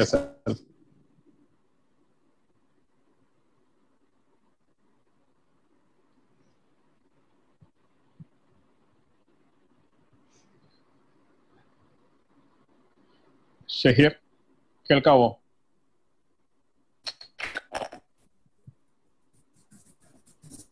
ഷഹീർ ചോദിച്ചോളൂ. ഹലോ കേൾക്കാവോ? കേൾക്കാം കേൾക്കാം. നമസ്കാരം സുഭാഷ് സാർ. നമസ്കാരം നമസ്കാരം. വളരെ നല്ല സെഷൻ ആയിരുന്നു സാറിന്റെ സെഷൻ ഇപ്പൊ അടുത്ത കാലത്തായിട്ട് കൃത്യമായി ഫോളോ ചെയ്തുകൊണ്ടിരിക്കുന്ന ഒരാളാണ്. അതുകൊണ്ട് തന്നെ എന്തൊക്കെയോ പ്രതീക്ഷിച്ചിരുന്നു. ഏകദേശം അതിൽ കുറെ സംഗതികൾ കിട്ടിയിട്ടുണ്ട്. അപ്പൊ അതിൽ സാറ് സൂചിപ്പിച്ച ഒരു സംഗതി അവൻ ഞാനൊക്കെ ചില ടൈം യൂസ് ചെയ്യുന്ന ഒരു പ്ലാനാണ് അപ്പൊ അത് സാർ പറഞ്ഞു ഇങ്ങനെയുള്ള ഒരു കൊറോണ അല്ലെങ്കിൽ ഒരു ഒരു സംഭവം വരുമ്പം അത് വെച്ച് നമ്മൾ അഡ്വർടൈസ്മെന്റ് അല്ലെങ്കിൽ പ്രൊഡക്റ്റ് പബ്ലിസിറ്റി ചെയ്യുന്നത് അതൊരു സുഖമല്ലെന്ന് തോന്നുന്നു. നമ്മളിപ്പം ബ്രേക്ക് ചെയിൻ അല്ലെങ്കിൽ സ്റ്റേ സേഫ് സ്റ്റേ ഹോം അല്ലെങ്കിൽ എന്തെങ്കിലും ഒരു സ്പെസിഫിക് ആയിട്ടുള്ള പോയിന്റ് വെച്ചിട്ട് അതൊരു കാരിയർ ആക്കിയിട്ടാണ് നമ്മളെ അഡ്വർടൈസ്മെന്റ് ഇപ്പൊ ഈ സാഹചര്യത്തിൽ നമ്മൾ ചെയ്തുകൊണ്ടിരിക്കുന്നത്. അപ്പൊ അത് നമുക്ക് ആ ഒരു സിറ്റുവേഷൻ ആയതുകൊണ്ട് തന്നെ അത് ഷെയർ ചെയ്ത് പോകാനും അല്ലെങ്കിൽ മറ്റുള്ളവരിലേക്ക് എത്താനൊക്കെ സാധ്യതയാവും. ഇപ്പൊ അതുപോലെ ന്യൂസ് ഇത്ര സംഗതികൾ ഒരു കാരിയർ ആക്കിയിട്ട് ആൾക്കാർ ആഡ് ചെയ്യുന്നുണ്ട്. അപ്പൊ നമുക്ക് ഈ കൊറോണ സിറ്റുവേഷനിലെല്ലാം അത്തരത്തിൽ തന്നെയല്ലേ നമ്മുടെ അഡ്വർടൈസ്മെന്റും പ്രൊഡക്റ്റും ഒക്കെ മാർക്കറ്റ് ചെയ്യാൻ സാധിക്കുകയുള്ളൂ? ഓക്കെ മനസ്സിലായി. ചോദ്യം മനസ്സിലായി. ഞാൻ അതിന്റെ ആൻസർ പറയാം. ഞാൻ പറഞ്ഞത് അഡ്വർടൈസ്മെന്റ് ചെയ്യേണ്ടതല്ല ചെയ്യുന്ന രീതിയിലുള്ള വ്യത്യാസമാണ്. ഉദാഹരണത്തിന് നമ്മളൊരു ലക്ഷ്യ പർപ്പസിന് ഉപയോഗിക്കുന്ന ഒരു ഒരു പ്രൊഡക്റ്റോ അല്ലെങ്കിൽ ഒരു സർവീസോ ഈ സ്റ്റേ സേഫ് പിന്നെ സ്റ്റേ ഹോം എന്ന് പറഞ്ഞ് ചെയ്യുമ്പോൾ പിന്നീട് ഒരു ആർത്തുല്ലസിക്കുന്നു എന്ന് പറഞ്ഞിട്ട് പറയുന്ന ഒരു പരസ്യം കൊണ്ടിരുന്നതിലുള്ള ബുദ്ധിമുട്ടാണ് ലൈഫ് ബോയുടെ ഒരു പരസ്യം വരുന്നുണ്ട് ഇപ്പോഴും. ശ്രദ്ധിച്ചോന്ന് അറിയില്ല ടി വിയിൽ ലൈഫ് ബോയിനകത്ത് അതിന്റെ മെസ്സേജ് ഇതാണ് സോ ക്ലീൻ ചെയ്യാൻ സോപ്പ് ഉപയോഗിച്ച് ക്ലീൻ ചെയ്യാൻ പറയുന്നു ഏത് സോപ്പ് ഉപയോഗിക്കാനാണ് അതിന്റെ താഴെ പറഞ്ഞിട്ടുള്ളത്? ലൈഫ് ബോയ് എന്ന് പറയുന്നില്ല. പരസ്യം ലൈഫ് ബോയ് ആണെന്ന് അതിന്റെ താഴെ നമുക്ക് കാണാം. ഇങ്ങനെ ഈ കാര്യങ്ങൾ നമുക്ക് ഉപയോഗിക്കാം. ഒരു ക്രൈസിസ് ഡിസാസ്റ്റർ വരുമ്പോൾ ആ ഡിസാസ്റ്ററിനെ നമ്മളെ ഒരു ഒരു പ്രൊഡക്റ്റിനോട് കണക്ട് ചെയ്ത് പറയാതെ നമുക്കൊരു ജനറൽ ഇൻഫർമേഷൻ പാസ് ചെയ്തുകൊണ്ട് നമ്മൾ കാര്യങ്ങൾ പറയാം. അത് ലൈഫായിട്ട് ഒരു ക്ലാസിക് എക്സാമ്പിൾ ആണ് അത് അത് ചെയ്യാൻ പറ്റും. ഇനി ഇമെയിൽ ആണെങ്കിൽ ഇപ്പൊ എനിക്കൊക്കെ ഫ്ലിപ്കാർട്ടിൽ നിന്നായാലും ആമസോണിൽ നിന്നായാലും റെഡ് ബസ് എന്നൊക്കെ ഇഷ്ടംപോലെ മെയിൽ ഉണ്ട് വരുന്നത്. ഇതുമായിട്ട് ഇപ്പൊ ഇന്നലെ ഇന്നിപ്പോ നമ്മളോട് സംസാരിച്ചു ഫ്ലിപ്കാർട്ടിന്റെ ഒരു മെയിൽ പോപ്പപ്പ് വന്നിരിക്കുന്നത് ഒരു ഗെയിം ലിങ്ക് ഇട്ട് തന്നിട്ടാണ്. നിങ്ങൾ വീട്ടിൽ ഭദ്രമായി ഇരിക്കും ആ സമയത്ത് സമയം ചെലവഴിക്കാന്ന് പറഞ്ഞിട്ട് ഫ്ലിപ്കാർട്ട് അവരെ ഞാൻ മറന്നു പോകരുത് എന്നാണ്. അതിനുവേണ്ടി ഒരു ലിങ്ക് ഇട്ടിരിക്കുന്നു. ഇങ്ങനെ ഉപയോഗിക്കാം നമുക്ക് ഈ അവസരത്തെ. അഡ്വർടൈസ്മെന്റ് ചെയ്യേണ്ടതല്ല വിസിബിലിറ്റി ഏറ്റവും കിട്ടുന്ന സമയമാണ് കസ്റ്റമറെ മാർക്കറ്റിംഗ് ചെയ്യേണ്ട ഒരു സമയമാണെന്നാണ് ഞാനിത് ഉപയോഗിക്കുന്നത്. മാർക്കറ്റിംഗ് ഡിപ്പാർട്ട്മെന്റിന് ഈ ലോക്ക്ഔട്ട് പീരീഡ് വളരെ ഭംഗിയായിട്ട് ഉപയോഗിക്കാൻ പറ്റും. പക്ഷേ കുറച്ച് ടാക്ടിക്സ് വേണമെന്ന് മാത്രം. സുഭാഷ് സുഭാഷ് പറഞ്ഞത് നമ്മൾ നമ്മുടെ കസ്റ്റമേഴ്സ് ആയിട്ട് നിരന്തരം കണക്ടിവിറ്റിയിൽ ഉണ്ടാവണം. നമ്മൾ നമ്മളെ ആവശ്യത്തിലുപരി കോമൺ സെൻസിൽ ചെയ്യണം എന്നുള്ളതാണ് പറഞ്ഞു വന്നത് അല്ലേ റൈറ്റ്? ആ നമ്മൾ പ്രൊഡക്റ്റ് ഏത് കൈൻഡ് ഓഫ് പ്രൊഡക്റ്റ് ആണോ ചെയ്യുന്നത്? ഇപ്പൊ ഒരു മാസ്ക് ആയിട്ടാണ് നമ്മൾ വരുന്നത്. നമുക്ക് ചെയ്യുന്നോണ്ട് കുഴപ്പമില്ല. ഒരു ഹെൽത്ത് ആയിട്ട് വരുന്നതാണ്. നമുക്ക് ചെയ്യുന്നോണ്ട് കുഴപ്പമില്ല. ഒരു ലക്ഷറി ആയിട്ടായിട്ട് വരുമ്പോൾ അത് വളരെ ഭംഗിയായിട്ട് ആ മെസ്സേജ് പറയാൻ പറ്റുന്നു. ഇപ്പൊ തന്നെ വാങ്ങിക്കൂ എന്നുള്ള രീതിയിൽ ഒരു ഓഫർ ഇട്ടിട്ട് നമുക്ക് വരാൻ പറ്റില്ല എന്നാ ഞാൻ പറഞ്ഞത്. അത് ചിലപ്പോ നെഗറ്റീവ് ആവും. നെഗറ്റീവ് മാർക്കറ്റിംഗ് ആവും. ഹലോ ഹലോ അക്വാസ് എനിക്കൊരു ക്വസ്റ്റ്യൻ ഉണ്ട്. ഞാൻ നോബിയാണ്. ഓക്കെ നമ്മൾ നല്ലൊരു ഡെലിവറി പാർട്ട്ണറെ കണ്ടെത്തണമെന്ന് പറഞ്ഞായിരുന്നല്ലോ. അപ്പോ അത്. എന്നാ എങ്ങനെയാണ് എനിക്കൊന്ന് ജസ്റ്റ് ഒന്ന് എക്സ്പ്ലെയിൻ ചെയ്യാൻ പറ്റും എന്താണ് ഒരു ഡെലിവറി ഏത് മോഡലിൽ കൊടുക്കണം? നിലവിലുള്ള ഈ ഡി ടി ഡി സി അല്ലെങ്കിൽ ട്രാക്കോൺ വഴി നമുക്ക് അത് കൊടുക്കണോ? അല്ലെങ്കിൽ വേറെ ഏതെങ്കിലും അതൊന്ന് ജസ്റ്റ് ഒന്ന് പറയാൻ പറ്റും ഇതെല്ലാം നമ്മുടെ ബിസിനസ് സ്കോപ്പാണ് ഞാൻ വളരെ ലോവർ ലെവലിലുള്ള ഒരു ഇ കൊമേഴ്സ് പ്ലാറ്റ്ഫോമിനെ കുറിച്ച് മെയിൻലി സംസാരിച്ചത്. ഞാൻ ഇന്നത്തെ പാർട്ടിസിപ്പന്റിൽ കുറെ ആൾ അവിടെയാണ് ഉള്ളത്. അതുകൊണ്ടാണ്. ഡെലിവറി അഗെയിൻ ഡെലിവറി ചെയിൻ നമുക്ക് ഇന്ത്യ മുഴുവൻ പ്ലാൻ ചെയ്ത് ചെയ്യുകയാണെങ്കിൽ ഡെഫിനറ്റ്ലി നമുക്കൊരു നല്ല ഡെലിവറി പ്ലാൻ വേണം. നല്ലൊരു ഡെലിവറി പാർട്ണർ വേണം. അപ്പൊ അത്രയും വലിയൊരു പ്ലാറ്റ്ഫോമിൽ നിന്നാണ് പോകുന്നതെങ്കിൽ നമുക്ക് ഈസി ആയിട്ട് അവരോട് അവരുമായിട്ട് ഒരു എക്സ്ക്ലൂസീവ് എൻ ഡി എ നമുക്ക് വെക്കാൻ പറ്റും. ഒരു അഗ്രിമെന്റ് നമുക്ക് വെക്കാൻ പറ്റും ഡെലിവറി പാർട്ണറെ ആ ഡെലിവറിയുടെ ക്വാളിറ്റി കാര്യങ്ങളൊക്കെ അസസ് ചെയ്തിട്ട് നമ്മൾ ചൂസ് ചെയ്യും. ഇപ്പൊ ഫ്ലിപ്കാർട്ടിലൊക്കെ വരുന്ന ഇതുപോലെ. ഇപ്പൊ സ്വിഗ്ഗി വരെ ഉപയോഗിക്കാം നമുക്ക് ഡെലിവറി പ്ലാറ്റ്ഫോമിൽ സ്വിഗ്ഗി വരെ ഉപയോഗിക്കാവുന്നതാണ്. നല്ലൊരു ഇതുണ്ടെങ്കിൽ അത്രയും വോളിയം നമുക്കുണ്ട്. അപ്പൊ ഡെലിവറി പാർട്ണർ അവിടെ നന്നായിരിക്കും. അപ്പൊ ലോക്കൽ ലെവലിലാണ് പറയുന്നത്. ലോക്കൽ ലെവലിലുള്ള ഇന്നോവേഷൻ നടക്കുന്നിടത്താണ് ഇന്ന് ഞാൻ പറഞ്ഞത് ഫേസ്ബുക്ക് നമ്മൾ ലോക്കൽ പ്രൊഡക്റ്റ് ഡെലിവറി ചെയ്യാൻ നമ്മൾ മാത്രം ചെയ്യുന്ന പറയുമ്പോൾ വാട്സപ്പിന്റെ അടുത്ത് ഉപയോഗിക്കാൻ പോവാണ്. ഫേസ്ബുക്ക് ജിയോയിൽ ഇൻവെസ്റ്റ് ചെയ്തുകൊണ്ട് അപ്പൊ അതിലും നമ്മൾക്കൊരു നോട്ടം വേണം. കാരണം നമുക്ക് ഒരുപക്ഷെ ജിയോനേക്കാൾ നന്നായിട്ട് ഒരുപക്ഷെ ഇത് ചെയ്യാൻ പറ്റിയേക്കാം. ഞാൻ എന്റെ ഒരു ഐഡിയ പറയുന്നത് നമുക്കിപ്പോ ഈ ലോക്കലായിട്ട് എത്താനായിട്ട് നമ്മളുടെ നിലവിലുള്ള ഈ കൊറിയർ കമ്പനിക്കാരോ അങ്ങനെയുള്ള ആൾക്കാരൊന്നും ലോക്കലൈസ്ഡ് ഡെലിവറി കൊടുക്കുന്നില്ല. അവർ ഏതെങ്കിലും സിറ്റീസിൽ മാത്രമേ കൊടുക്കുന്നുള്ളല്ലോ.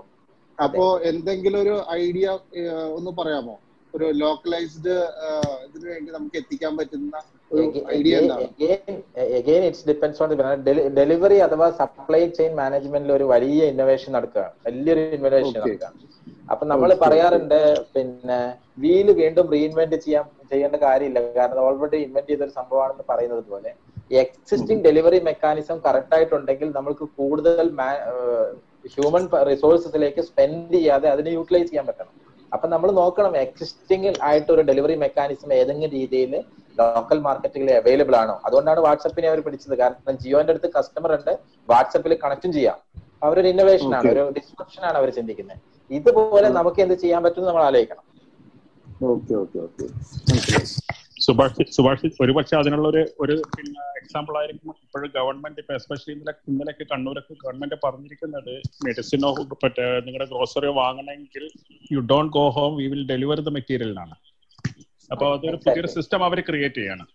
Even local even not in metro cities the local ഏരിയാസിൽ പോലും. എക്സാക്ട്ലി അതെ അതെ. തീർച്ചയായും. ഇപ്പോ But Mr. എന്റെ Siddharth, അഭിപ്രായത്തിൽ ഒരു ഒരു ഒരു കാര്യം ഞാൻ പറഞ്ഞോട്ടെ. ഇപ്പൊ അങ്ങനെയാണെന്നുണ്ടെങ്കിൽ ഒരു പുതിയൊരു ഓപ്പർച്യൂണിറ്റി വന്നിട്ടില്ലേ? ഡെലിവറി എന്നുള്ള ഒരു സെഗ്മെന്റ് പുതിയതായി ഏതെങ്കിലും ഒരു ബിസിനസ് തുടങ്ങാനുള്ള ആൾക്ക് ഒരു ഒരു ഡെലിവറി ചെയ്യാം എന്നുള്ള ഒരു കൺസെപ്റ്റിലേക്ക് വരാലോ? തീർച്ചയായും.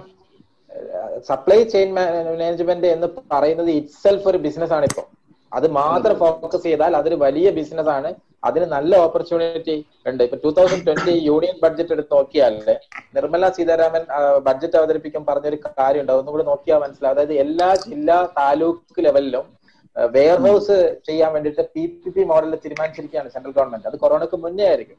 മിക്കവാറും അത്. പ്രിപ്പയർ ചെയ്തിട്ടുണ്ടാവുക. പക്ഷെ അപ്പൊ പോലും ഇങ്ങനെയുള്ള ലോക്കൽ സപ്ലൈ ചെയിൻ മാനേജ്മെന്റും അല്ലെങ്കിൽ അതിലൊരു ഡിസ്ക്രിപ്ഷൻ സെൻട്രൽ ഗവൺമെന്റ് വരെ എക്സ്പെക്ട് ചെയ്യുന്നുണ്ട് എന്നുള്ളതാണ് ആ യൂണിയൻ ബഡ്ജറ്റ് തെളിയിക്കുന്നത്. Okay thank you Subhash mister Siddharth Kolath hello hello sir Siddharth ആണ്. സുഭാഷ് പറയ്. പറയ്. ഒരു ഡൗട്ട് ചോദിക്കാനുള്ള എന്താ വെച്ച് കഴിഞ്ഞാൽ ഇതിപ്പോ നമുക്കിപ്പോ സ്വന്തമായിട്ട് പ്രൊഡക്ട്സ് ഉള്ള ഒരു കമ്പനി നമ്മൾ ഇ കൊമേഴ്സ് സ്റ്റാർട്ട് ഇ കൊമേഴ്സിലേക്ക് മാറുകയാണെന്ന് വിചാരിക്കും. ആ. ഓക്കെ അപ്പൊ അങ്ങനെ ആകുമ്പോൾ നമ്മൾ എക്സിസ്റ്റിംഗ് ആയിട്ടുള്ള ആമസോൺ അല്ലെ ഫ്ലിപ്കാർട്ട് പോലെയുള്ള മാർക്കറ്റ് പ്ലേസ് കുറച്ചു കാലം യൂസ് ചെയ്ത് നമ്മളെ പ്രൊഡക്റ്റിന് ഒരു വിസിബിലിറ്റി ക്രിയേറ്റ് ചെയ്തതിന് ശേഷം കാരണം നമുക്ക് നമ്മൾ സ്വന്തമായിട്ട് ഇ കൊമേഴ്സ് പ്ലാറ്റ്ഫോം ക്രിയേറ്റ് ചെയ്യുമ്പോൾ നമുക്ക് ഈ പറഞ്ഞ പോലെ ഇൻവെസ്റ്റ്മെന്റ് ഒക്കെ വരുന്നുണ്ടല്ലോ. അപ്പൊ അങ്ങനെ ഒരു സ്ട്രാറ്റജി നമ്മൾ ഫോളോ ചെയ്താൽ എങ്ങനെ ഉണ്ടായിരിക്കുന്നതാണ് സാർ അഭിപ്രായം? ആ product again depends on product ഈ product unique U S P ഉള്ള ഒരു പ്രൊഡക്റ്റ് ആണ് ഒരു ജനറൽ പ്രൊഡക്റ്റ് അല്ല എന്ന് വിചാരിക്കാം. ഓക്കെ ഡെഫിനറ്റ്ലി നമ്മൾ ആമസോണിലേക്കോ ഫ്ലിപ്കാർട്ടിലേക്കോ ചെയ്യുന്നുണ്ട്. നമുക്ക് പാരലലി നമ്മുടെ സിസ്റ്റം ചെയ്യാം. പക്ഷെ ചെയ്യുന്നത് കൊണ്ടും ഉള്ള ഏറ്റവും വലിയ ബെനിഫിറ്റ് എന്താ വെച്ചാൽ നമ്മൾ പൈസ മുടക്കാതെ വലിയ സോഷ്യൽ മീഡിയ പ്ലാറ്റ്ഫോം അവരവിടെ ഉണ്ടാക്കിയിട്ടുണ്ട്. ഐ മീൻ അവരതിനു വേണ്ടി കാശ് മുടക്കുന്നുണ്ട്. It's very easy to get the traffic to our own website ആണ്. ക്ലിയർ ആണല്ലോ? അതേ സമയത്ത് അതൊരു കോമൺ പ്രൊഡക്റ്റ് ആണ്. ഒരുപാട് സപ്ലയർ ഒക്കെ ഉണ്ടെങ്കിൽ ചിലപ്പോൾ അത് വൺ എം ഹൺഡ്രഡ് ആവും. അപ്പൊ നമ്മൾ വിചാരിച്ച പോലെ ഈ ഒരു ഇത് കിട്ടണമെന്നില്ല. If it is an unique product അഥവാ വളരെ റയർ ആയിട്ട് അല്ലെങ്കിൽ കുറച്ച് കസ്റ്റമേഴ്സ് ഉള്ളതാണെങ്കിൽ ഇത്തരം എല്ലാ പ്ലാറ്റ്ഫോമും നമ്മൾ ഉപയോഗിക്കുന്നതായിരിക്കും നല്ലത്. Okay sir thank you okay thank you hope you are understood mister Mansoor ഒരു ക്വസ്റ്റ്യൻ ഉണ്ടെന്ന് പറഞ്ഞു. Mansoor please unmute yourself thank you hi Subhash ji മനസ്സിലായി ഹലോ എന്റെ ഒരു ക്വസ്റ്റ്യൻ വെച്ചാൽ വെച്ചാൽ ഞങ്ങൾ ഇ കോമേഴ്സും പിന്നെ ബിസിനസ് അനാലിറ്റിക്സ് ഒക്കെ പറഞ്ഞല്ലോ. ഇതിന്റെ ഒരു എന്താ പറയാ പ്രിലിമറി ഒരു സിസ്റ്റം സ്റ്റഡി ഒക്കെ ഒരു ഓർഗനൈസേഷൻസിൽ നടത്താൻ പറ്റുന്ന ഡീലേഴ്സ് ഓർ മീൻസ് ഈ ഡെവലപ്പേഴ്സോ കമ്പനികളോ ഞങ്ങളെ കണ്ണൂർ ലൊക്കേഷനിൽ ഉണ്ടോ? ഉണ്ടെങ്കിൽ അവരെ പറ്റി പറയുവാണെങ്കിൽ ഇവിടെ ഇപ്പൊ പത്തൊമ്പത്തി ആറ് ആൾക്കാർ പാർട്ടിസിപ്പേറ്റ് ചെയ്തിട്ടുണ്ടല്ലോ. അപ്പൊ അവർക്കൊരു ഇൻഫർമേഷൻ ഷെയറിംഗ് എന്നുള്ള രീതിയിലാണ് എന്റെ ക്വസ്റ്റ്യൻ ഞാൻ അതിൽ ഈ ഒരു സെഷൻ ബി ട്രാക്ക് സീരീസ് ആരും ചെയ്തത് തന്നെ. ഇപ്പോ മൈസോൺ എന്നുള്ള ചില കമ്പനികളുടെ മൂവ്മെന്റ് ഞാനിപ്പോ നേരത്തെ പറഞ്ഞു. ചെറിയ സ്മോൾ ബിസിനസിനെ സഹായിക്കാൻ വേണ്ടിയുള്ള പ്ലാറ്റ്ഫോം ഫ്രീ ആയിട്ട് കൊടുക്കുന്നു എന്നുള്ള കാര്യങ്ങളൊക്കെ ചെയ്യുന്നുണ്ടായിരുന്നു. അപ്പൊ ആ- ഒരു തോട്ട് പോസ്റ്റ് ഇപ്പൊ ഞങ്ങൾ മൈസോൺ ആയിട്ട് ബിട്രാക്കിൽ ഒരുപാട് എക്സ്പെർട്സ് ഉണ്ട്. പല ബിസിനസ് ചെയ്യുന്ന ആൾക്കാർ ബിട്രാക്കിലുണ്ട് അപ്പൊ ഞങ്ങളൊക്കെ ഒന്ന് ഒരുമിച്ചിരുന്നപ്പോഴേ ഇതിന്റെ കോമൺ സൊല്യൂഷൻ കണ്ടെത്താനുള്ള ഒരു വഴി ആലോചിക്കുന്നുണ്ട്. അതിന്റെ ഒരു സീരീസ് ഈ സീരീസ് പോലും സ്റ്റാർട്ട് ചെയ്തതാണ് മിക്കവാറും നമുക്കൊരു പതിനഞ്ച് ദിവസത്തിനുള്ളിൽ അങ്ങനെ ഒരു അനൗൺസ്മെന്റ് വിചാരിക്കാം നമുക്ക് അത്തരം പ്രൊഡക്റ്റുകൾ അതായത് ഒറ്റയ്ക്ക് ചെയ്യാൻ പറ്റാത്ത ആൾക്കാർ ഉണ്ടാവും ഇത് ഞാൻ നേരത്തെ പറഞ്ഞ ഇത്രയും കാര്യങ്ങൾ ആ ഇൻവെസ്റ്റ്മെന്റ് ഇൻവെസ്റ്റ്മെന്റോടെ എല്ലാം ഒരാൾക്ക് ചെയ്യാൻ പറ്റണമെന്നില്ല. ഒരു ചെറിയ ചെറുകിട സംരംഭകന് അവരെ സഹായിക്കാൻ വേണ്ടി അത്തരം കാര്യങ്ങൾ ചെയ്യാൻ പറ്റുന്ന ഒരു ബാക്ക് ഓഫീസ് സിസ്റ്റം അല്ലെങ്കിൽ അങ്ങനെ എന്തൊക്കെ ടെക്നോളജി കമ്പനികൾക്ക് പ്രൊവൈഡ് ചെയ്യാൻ പറ്റുന്ന ഒരു തോട്ട് പ്രോസസ് ഇപ്പൊ നടക്കുന്നുണ്ട്. മിക്കവാറും ഒരു ഫിഫ്റ്റീൻ ഡേയ്സിനുള്ളിൽ നമുക്ക് അത്രയും റിസൾട്ട് എക്സ്പെക്ട് ചെയ്യാം. ഓക്കെ. അല്ല എന്റെ ഒരു ക്വസ്റ്റ്യനും അത് തന്നെ ആയിരുന്നു. എന്ന് വെച്ചാൽ പല ഇപ്പൊ ഞങ്ങൾ മെട്രോസിലെ പോലെ അത്രയും ഇൻവെസ്റ്റ്മെന്റ് ചെയ്യാൻ പറ്റാത്ത ആൾക്കാരുണ്ട്. എന്നാലും ഈ ഇ കോമേഴ്സ് ഒക്കെ അഡോപ്റ്റ് ചെയ്യണമെന്ന് ആഗ്രഹമുള്ള കസ്റ്റമേഴ്സ് ഉണ്ടാവും. അപ്പൊ അവർക്ക് ഈ ഒരു കോമൺ പ്ലാറ്റ്ഫോമിൽ എന്തെങ്കിലും ഒരു കോമൺ ആയിട്ടുള്ള പ്ലാറ്റ്ഫോമോ അല്ലെങ്കിൽ ഒരു ഒരു മാർക്കറ്റ് പ്ലേസ് പോലെ എന്തെങ്കിലും ഡെവലപ്പ് ചെയ്തിട്ട് അവർ അവർക്ക് എല്ലാവർക്കും ഇത് മാർക്കറ്റും ചെയ്യാൻ പറ്റും. ആ രീതിയിൽ എന്തെങ്കിലും ഒരു പ്രൊഡക്റ്റ് ആലോചിക്കാൻ പറ്റുമോ എന്ന് ആയിരുന്നു എന്റെ ക്വസ്റ്റ്യൻ അതെ അത് ആ ഒരു ചിന്ത നടക്കുന്നുണ്ട്. ഞാൻ പറഞ്ഞു വളരെ ഫാസ്റ്റ് ആയിട്ട് നടക്കുന്നുണ്ട്. ഇപ്പൊ എല്ലാവർക്കും സമയമുണ്ട് പുതിയ കാര്യങ്ങളെ കുറിച്ച് ചിന്തിക്കാൻ. അപ്പൊ ഓക്കെ കണ്ണൂരിലെ ഐ ടി പറയുമ്പോ കമ്പ്യൂട്ടർ കെയർ അതിന്റെ മേജർ പാർട്ടാണ് അപ്പൊ. ഡെഫിനറ്റ്ലി ഒരു കോൾ അവിടെയും വരും. കാരണം നിങ്ങളുടെ ആക്റ്റീവ് സാന്നിധ്യം അതിൽ വേണ്ടതാണ്. ഓ എപ്പോഴും ഉണ്ടാവും. Okay thank you Subhash thank you okay thank you Subhash ji ഞങ്ങളുടെ ഒരു കൊച്ചിൻ നിന്ന് ഒരു പാർട്ടിസിപ്പൻസ് മിസ് ശ്രീദേവിക്ക് ക്വസ്റ്റ്യൻ ചോദിക്കാൻ ആഗ്രഹിക്കുന്നുണ്ട് സുഭാഷ് ജി ശ്രീദേവി എനിക്ക് ആൻസർ പറഞ്ഞ ആളാണല്ലോ.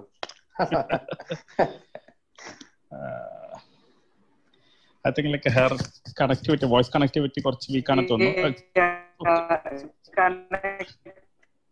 ആ Sreedevi your voice voice is cracking മോശമാണ്. Yeah I just want know like നമ്മൾ Sreedevi your voice is cracking Subhash ഞാൻ മനസ്സിലാക്കുന്നത്? യാ സുഭാഷ് ശ്രീദേവി ചോദിക്കാൻ ഞാൻ മനസ്സിലാക്കിയെടുത്തോളം ശ്രീദേവി ചോദിക്കാൻ ഉദ്ദേശിക്കുന്നത് സർവീസ് സെക്ടറിന് ഇ കോമേഴ്സ് എത്ര ഇമ്പാക്റ്റ്ഫുൾ ആണെന്നാണ് സർവീസ് സെക്ടറിന്റെ ഇ കോമേഴ്സ് ആണ് സാസ് മോഡൽ ബിസിനസ് എന്ന് പറയുന്നത് ശരിക്കും പറഞ്ഞാൽ.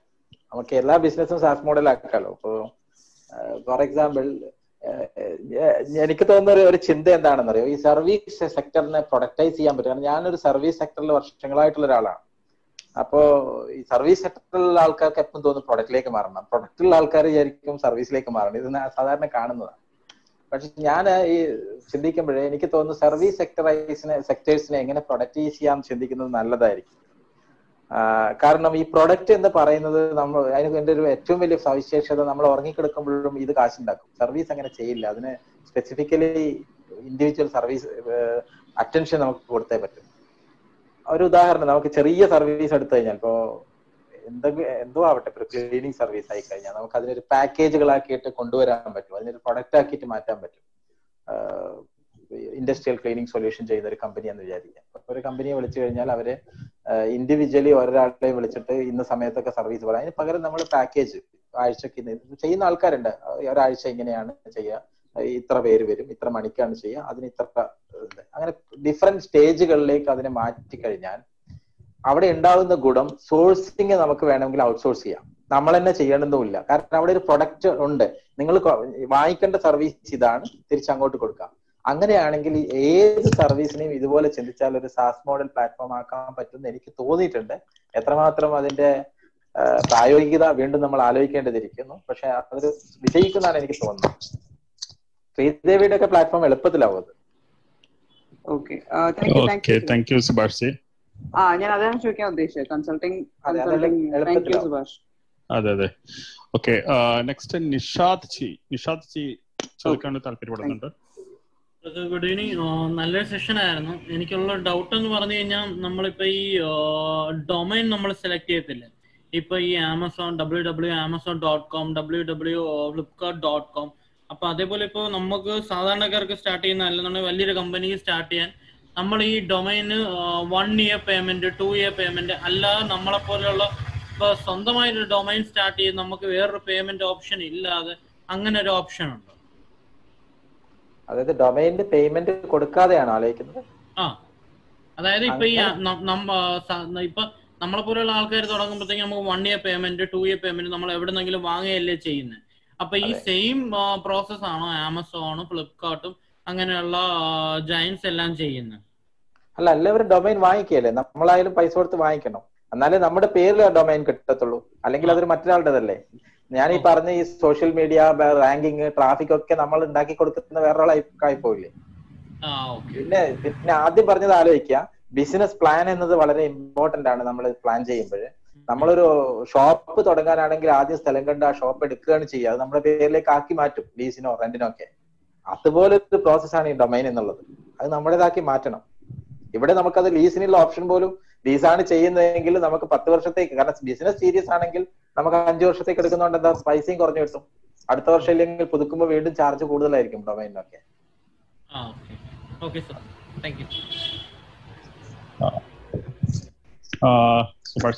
നല്ലൊരു ഒരു ക്വസ്റ്റ്യൻ കൂടിയുണ്ട്. ഉണ്ട് ആരായിരുന്നു? ഞാൻ നോബിയാണ്. ഞാൻ നോബി. എറണാകുളം. ഓക്കെ അതായത് നമ്മൾ മൾട്ടിപ്പിൾ പ്രോഡക്റ്റ് ചെയ്യുമ്പോൾ ഇതിന്റെ റിട്ടേൺ പോളിസി എന്ന് പറയുന്നത് എല്ലാം സിംഗിൾ റിട്ടേൺ പോളിസി എല്ലാം സിംഗിൾ ആയിരിക്കും. അല്ലെങ്കിൽ ഓരോരോ പ്രോഡക്റ്റിനും ഓരോരോ റിട്ടേൺ പോളിസി ആയിരിക്കും എങ്ങനെയാണ്? ഇവിടെയാണ് നമ്മൾ ഇന്നോവേഷൻ കൊണ്ടുവരേണ്ടത്. ഇതിലാണ് നമ്മുടെ വിജയം. ഞാൻ പറഞ്ഞല്ലോ ആമസോണും ഫ്ലിപ്കാർട്ടും നമ്മൾ ഇത്രയും ഓർത്ത് അത് പല പ്ലാറ്റ്ഫോം വന്നിട്ടും അതിനെ ഇത്രയും ഭംഗിയാക്കി ഉയർത്തിക്കൊണ്ടുവരാനുള്ള ഒരു കാരണം അതിന്റെ റിട്ടേൺ പോളിസി ആയിരിക്കും. അപ്പൊ മൾട്ടിപ്പിൾ പ്രൊഡക്റ്റ് ഇപ്പൊ വെജിറ്റബിൾസ് ആണെങ്കിൽ നമുക്ക് റിട്ടേൺ പോളിസി ചിലപ്പോൾ കൊടുക്കാൻ പറ്റില്ല എന്ന് വരാം. ഞാൻ അതിനിടയിൽ ഈ റിട്ടേൺ പോളിസി പറയുമ്പോഴേ അതിൽ എന്റെ ഒരു സുഹൃത്ത് ഇപ്പൊ വിജയ് പവേലുള്ള എല്ലാവർക്കും അക്ബക്കും എല്ലാവർക്കും അറിയാം ശ്രീദേവിക്കൊക്കെ അറിയാം. ഞങ്ങളുടെ ഒരു ഫ്രണ്ട് വിജയ് പവ ഓണ്ടർപ്രണർ സജീവ് തിങ്കൾ സജീവ് തിങ്കൾ എന്നാണ് അദ്ദേഹത്തിന്റെ പ്രൊഡക്റ്റ് അദ്ദേഹത്തിന്റെ ഒരു അറിയാം, അറിയാം, അനുഭവം പറയാം അറിയാം. അദ്ദേഹത്തിന്റെ റിട്ടേൺ പോളിസി എന്താണെന്ന് അറിയാവോ? ഇല്ല ഇല്ല ഇല്ല. അല്ല അദ്ദേഹം മിൽക്കും ഇതൊക്കെയാണ് ചെയ്യുന്നത്. ആ ഓരോ തൈര് അല്ലെങ്കിൽ മിൽക്ക് അതിന്റെ പാക്കറ്റിന്റെ മുകളിൽ എഴുതിയ കസ്റ്റമർ കെയർ നമ്പറിൽ വിളിച്ചു കഴിഞ്ഞാൽ പുള്ളിയെ ഡയറക്റ്റ് കിട്ടും. അല്ലെങ്കിൽ അതിലാണ് പുള്ളി കോൺസെൻട്രേറ്റ് ചെയ്യുന്നത്. അത് കഴിഞ്ഞാൽ എന്നിട്ട് ഒരു കംപ്ലൈന്റ് പറഞ്ഞാൽ പുള്ളി പുള്ളി തന്നെ തൃശ്ശൂർ ഏരിയയിൽ മാത്രമാണ് വലിയൊരു ഏരിയ ചെയ്യുമ്പോൾ നമുക്ക് ഡിഫറൻസ് ഇത് വേണ്ടി വരും. തൃശ്ശൂർ ജില്ലയിൽ അദ്ദേഹത്തിന് നടക്കുന്നുണ്ട്. അദ്ദേഹം ആ നമ്പറിൽ എടുത്തിട്ട് ആ പറഞ്ഞ പ്രൊഡക്റ്റിന് പകരം ഒരു ആൾട്ടർനേറ്റീവ് പ്രൊഡക്റ്റുമായിട്ട് ആ വീട്ടിൽ ഡയറക്റ്റ് കാർ ഓടിച്ചു വന്നിട്ട് ഈ പ്രൊഡക്റ്റ് റിട്ടേൺ ആക്കും. എന്നിട്ട് അത് തിരിച്ചു വാങ്ങിക്കും. എന്നിട്ട് അവരോട് പറയും ഇത് അബദ്ധത്തിൽ ഇന്ന കാര്യം കൊണ്ട് പറ്റിയതായിരിക്കും. കാരണം എന്റെ തിങ്കൾ എന്ന് പറയുന്ന പ്രോഡക്റ്റിനെ കുറ്റം പറയുന്നത് എനിക്ക് ഇഷ്ടമല്ല കാരണം തിങ്കൾ എന്റെ മോളാണ്. അദ്ദേഹത്തിന്റെ മകളുടെ പേരാണ് തിങ്കൾ എന്നുള്ളത്. അപ്പൊ കസ്റ്റമർ സർവീസിനും റിട്ടേൺ പോളിസിക്കും ഒരു ഓൺടർപ്രണർ എത്ര പ്രാധാന്യം കൊടുത്തു നോക്കുക. അതുകൊണ്ട് തന്നെ തൃശൂർ ജില്ലയിൽ അറിയാലോ ഞാൻ മറ്റുള്ളവർക്കും കൂടി പറയുകയാണ് തൃശൂർ ജില്ലയിൽ തൃശ്ശൂർ ജില്ലയിൽ ഇത് ഈ മിൽക്ക് ബേസ്ഡ് പ്രൊഡക്ട്സ് മിൽമയേക്കാൾ ഓർഡർ അദ്ദേഹത്തിനുണ്ട്. തിങ്കൾ സജി. ഞാൻ ഞാൻ വരെ സജിയുടെ പ്രോഡക്റ്റ് ആണ് കൊച്ചിയിൽ വാങ്ങുന്നത്. ഗ്രേറ്റ് ഓക്കെ ഓക്കെ അപ്പൊ ഈ സജിനെ സംബന്ധിച്ച് ഒരു തൃശ്ശൂർ ബേസ്ഡ് വരുന്നു. നമ്മളൊരു എന്റെ കേരള അല്ലെങ്കിൽ ഒരു ഇന്ത്യൻ ബേസ്ഡ് വരുമ്പോ പല പല പ്രോഡക്റ്റ് ആകുമ്പോൾ നമുക്ക് ഈ ഒരു കാറ്റഗറി തരത്തിലേക്ക് നമുക്ക് മൂവ് ചെയ്യാൻ പറ്റില്ലല്ലോ? അല്ല പുള്ളി ഇപ്പൊ ഓൾ കേരള ലെവലിലേക്ക് വരാൻ പോവാണ്. പുള്ളിക്ക് വേണ്ട ഒരു ഇൻവെസ്റ്റ്മെന്റ് ഒരു ഇൻവെസ്റ്റർ തയ്യാറായിട്ട് ഓൾ കേരള വരാൻ പോവാണ്. നമുക്ക് വീണ്ടും അക്കാര്യത്തിൽ സജീവിന്റേതായ യുണീക്ക് ഇന്നോവേഷൻ കാണാം. അതെ, അതെ. ഇന്നോവേഷൻ ആണ്. അതെ അതെ. ഇപ്പൊ മാറ്റി ഇപ്പൊ മ്യൂട്ട് ആക്കി. Hello? Hello? Okay okay thank you. Thank you sir. ആ, സുഭാഷ് ഇവിടെ നിസാർ എം എ ഒരു ക്വസ്റ്റ്യൻ ചോദിച്ചിട്ടുണ്ട് ചാറ്റിൽ ഓഫ്ലൈൻ ഇ കോമേഴ്സ് സൈറ്റിന്റെ റേറ്റ് പറയാമോ? ഇറ്റ് പോസിബിൾ എന്താണ് ചോദിച്ചത്? ഞാൻ കേട്ടില്ല. Offline offline e commerce site rate please നമുക്ക് ഞാൻ ഞാനിപ്പോ ഇത്രയും പറഞ്ഞതാണ് ഇത് മുഴുവൻ ഞാൻ ചോദിക്കുന്നുള്ള അറിയുന്ന അറിയുന്നത് സാറേ സൈറ്റും കാര്യങ്ങളും സൈസും കാര്യങ്ങളൊന്നും അറിയാതെ നമ്മൾ റേറ്റ് പറയാൻ പറ്റില്ല. ഞാൻ ഞാൻ ഞാൻ പറഞ്ഞു വരുന്നത് അതിന്റെ റിപ്ലൈ ഒരു ഞാൻ ഈ പറയുന്നത് പറയുന്ന ബ്ലാക്കാ അക്ഫ ആരുടെ ഒരു സൗണ്ട് ഒന്ന് മ്യൂട്ട് ചെയ്യാൻ. ഈ പറയുന്ന ഒരു പ്രൊഡക്റ്റിന് നമുക്ക് നമ്മുടെ റിക്വയർമെന്റ് നമ്മുടെ ബിസിനസ് പ്ലാൻ ആദ്യം ഉണ്ടാക്കിയിട്ട് മാത്രമേ ആ റേറ്റ് പോലും എടുക്കാൻ പറ്റുള്ളൂ. അപ്പൊ അത് ചെയ്യാൻ വേണ്ടിയിട്ട് നമുക്ക് ഇവിടെ നല്ലൊരു ഇക്കോ സിസ്റ്റം ഉണ്ട് മലബാർ ഇന്നോവേഷൻ ഓണ്ടർപ്രണർഷിപ്പ് സോൺ ഒത്തിരി കമ്പനികളുണ്ട് അവിടെ ചെയ്യാൻ വേണ്ടിയിട്ട്. ഡയറക്ട്ലി ഞാൻ ഇത് ചെയ്യുന്ന ഒരാളല്ല എന്റെ സബ് കമ്പനികളൊക്കെ ചെയ്യുന്നുണ്ട്. മൈസോണിലൊക്കെ വന്നു കഴിഞ്ഞാൽ നമുക്ക് അത്ര റേറ്റുകൾ നിങ്ങൾക്ക് കിട്ടും. പക്ഷെ before that please do your business plan അത് ഇമ്പോർട്ടന്റ് ആണ്. ഓഫ്ലൈൻ ഓഫ്ലൈനിൽ എങ്ങനെ ഇത് ചെയ്യാം എന്നുള്ളതിനെ കുറിച്ചാണ് നമ്മുടെ നാളത്തെ സെഷൻ ഉള്ളത്. അതിൽ എക്സ്പീരിയൻസ്ഡ് അതിൽ സക്സസ് ആയ ഒരാളുടെ സെഷനാണ് നാളെ ഉള്ളത് അപ്പം അതൊരു വളരെ യൂസ്ഫുൾ ആയിരിക്കും എന്നാണ് എനിക്ക് തോന്നുന്നത്. ക്വസ്റ്റ്യൻ ചോദിച്ച ആൾക്ക്. ഞാൻ ഇന്ന് പറഞ്ഞ കാര്യത്തിന്റെ പ്രാക്ടിക്കൽ വശം അദ്ദേഹം നാളെ പറയും. അതെ എങ്ങനെ ചെയ്യാന്നുള്ളത് വേറെ ആർക്കും ക്വസ്റ്റ്യൻ ഉള്ളതായിട്ട് കാണുന്നില്ല. ആർക്കെങ്കിലും ഉണ്ടോ? The last one one more question അതെ സാർ ആരാണ്? ഹലോ ഹലോ ആരാണ്? അതെ ഞാൻ മൈക്ക ഒരു ക്ഷീരസംഘ സെക്രട്ടറിയാണ്.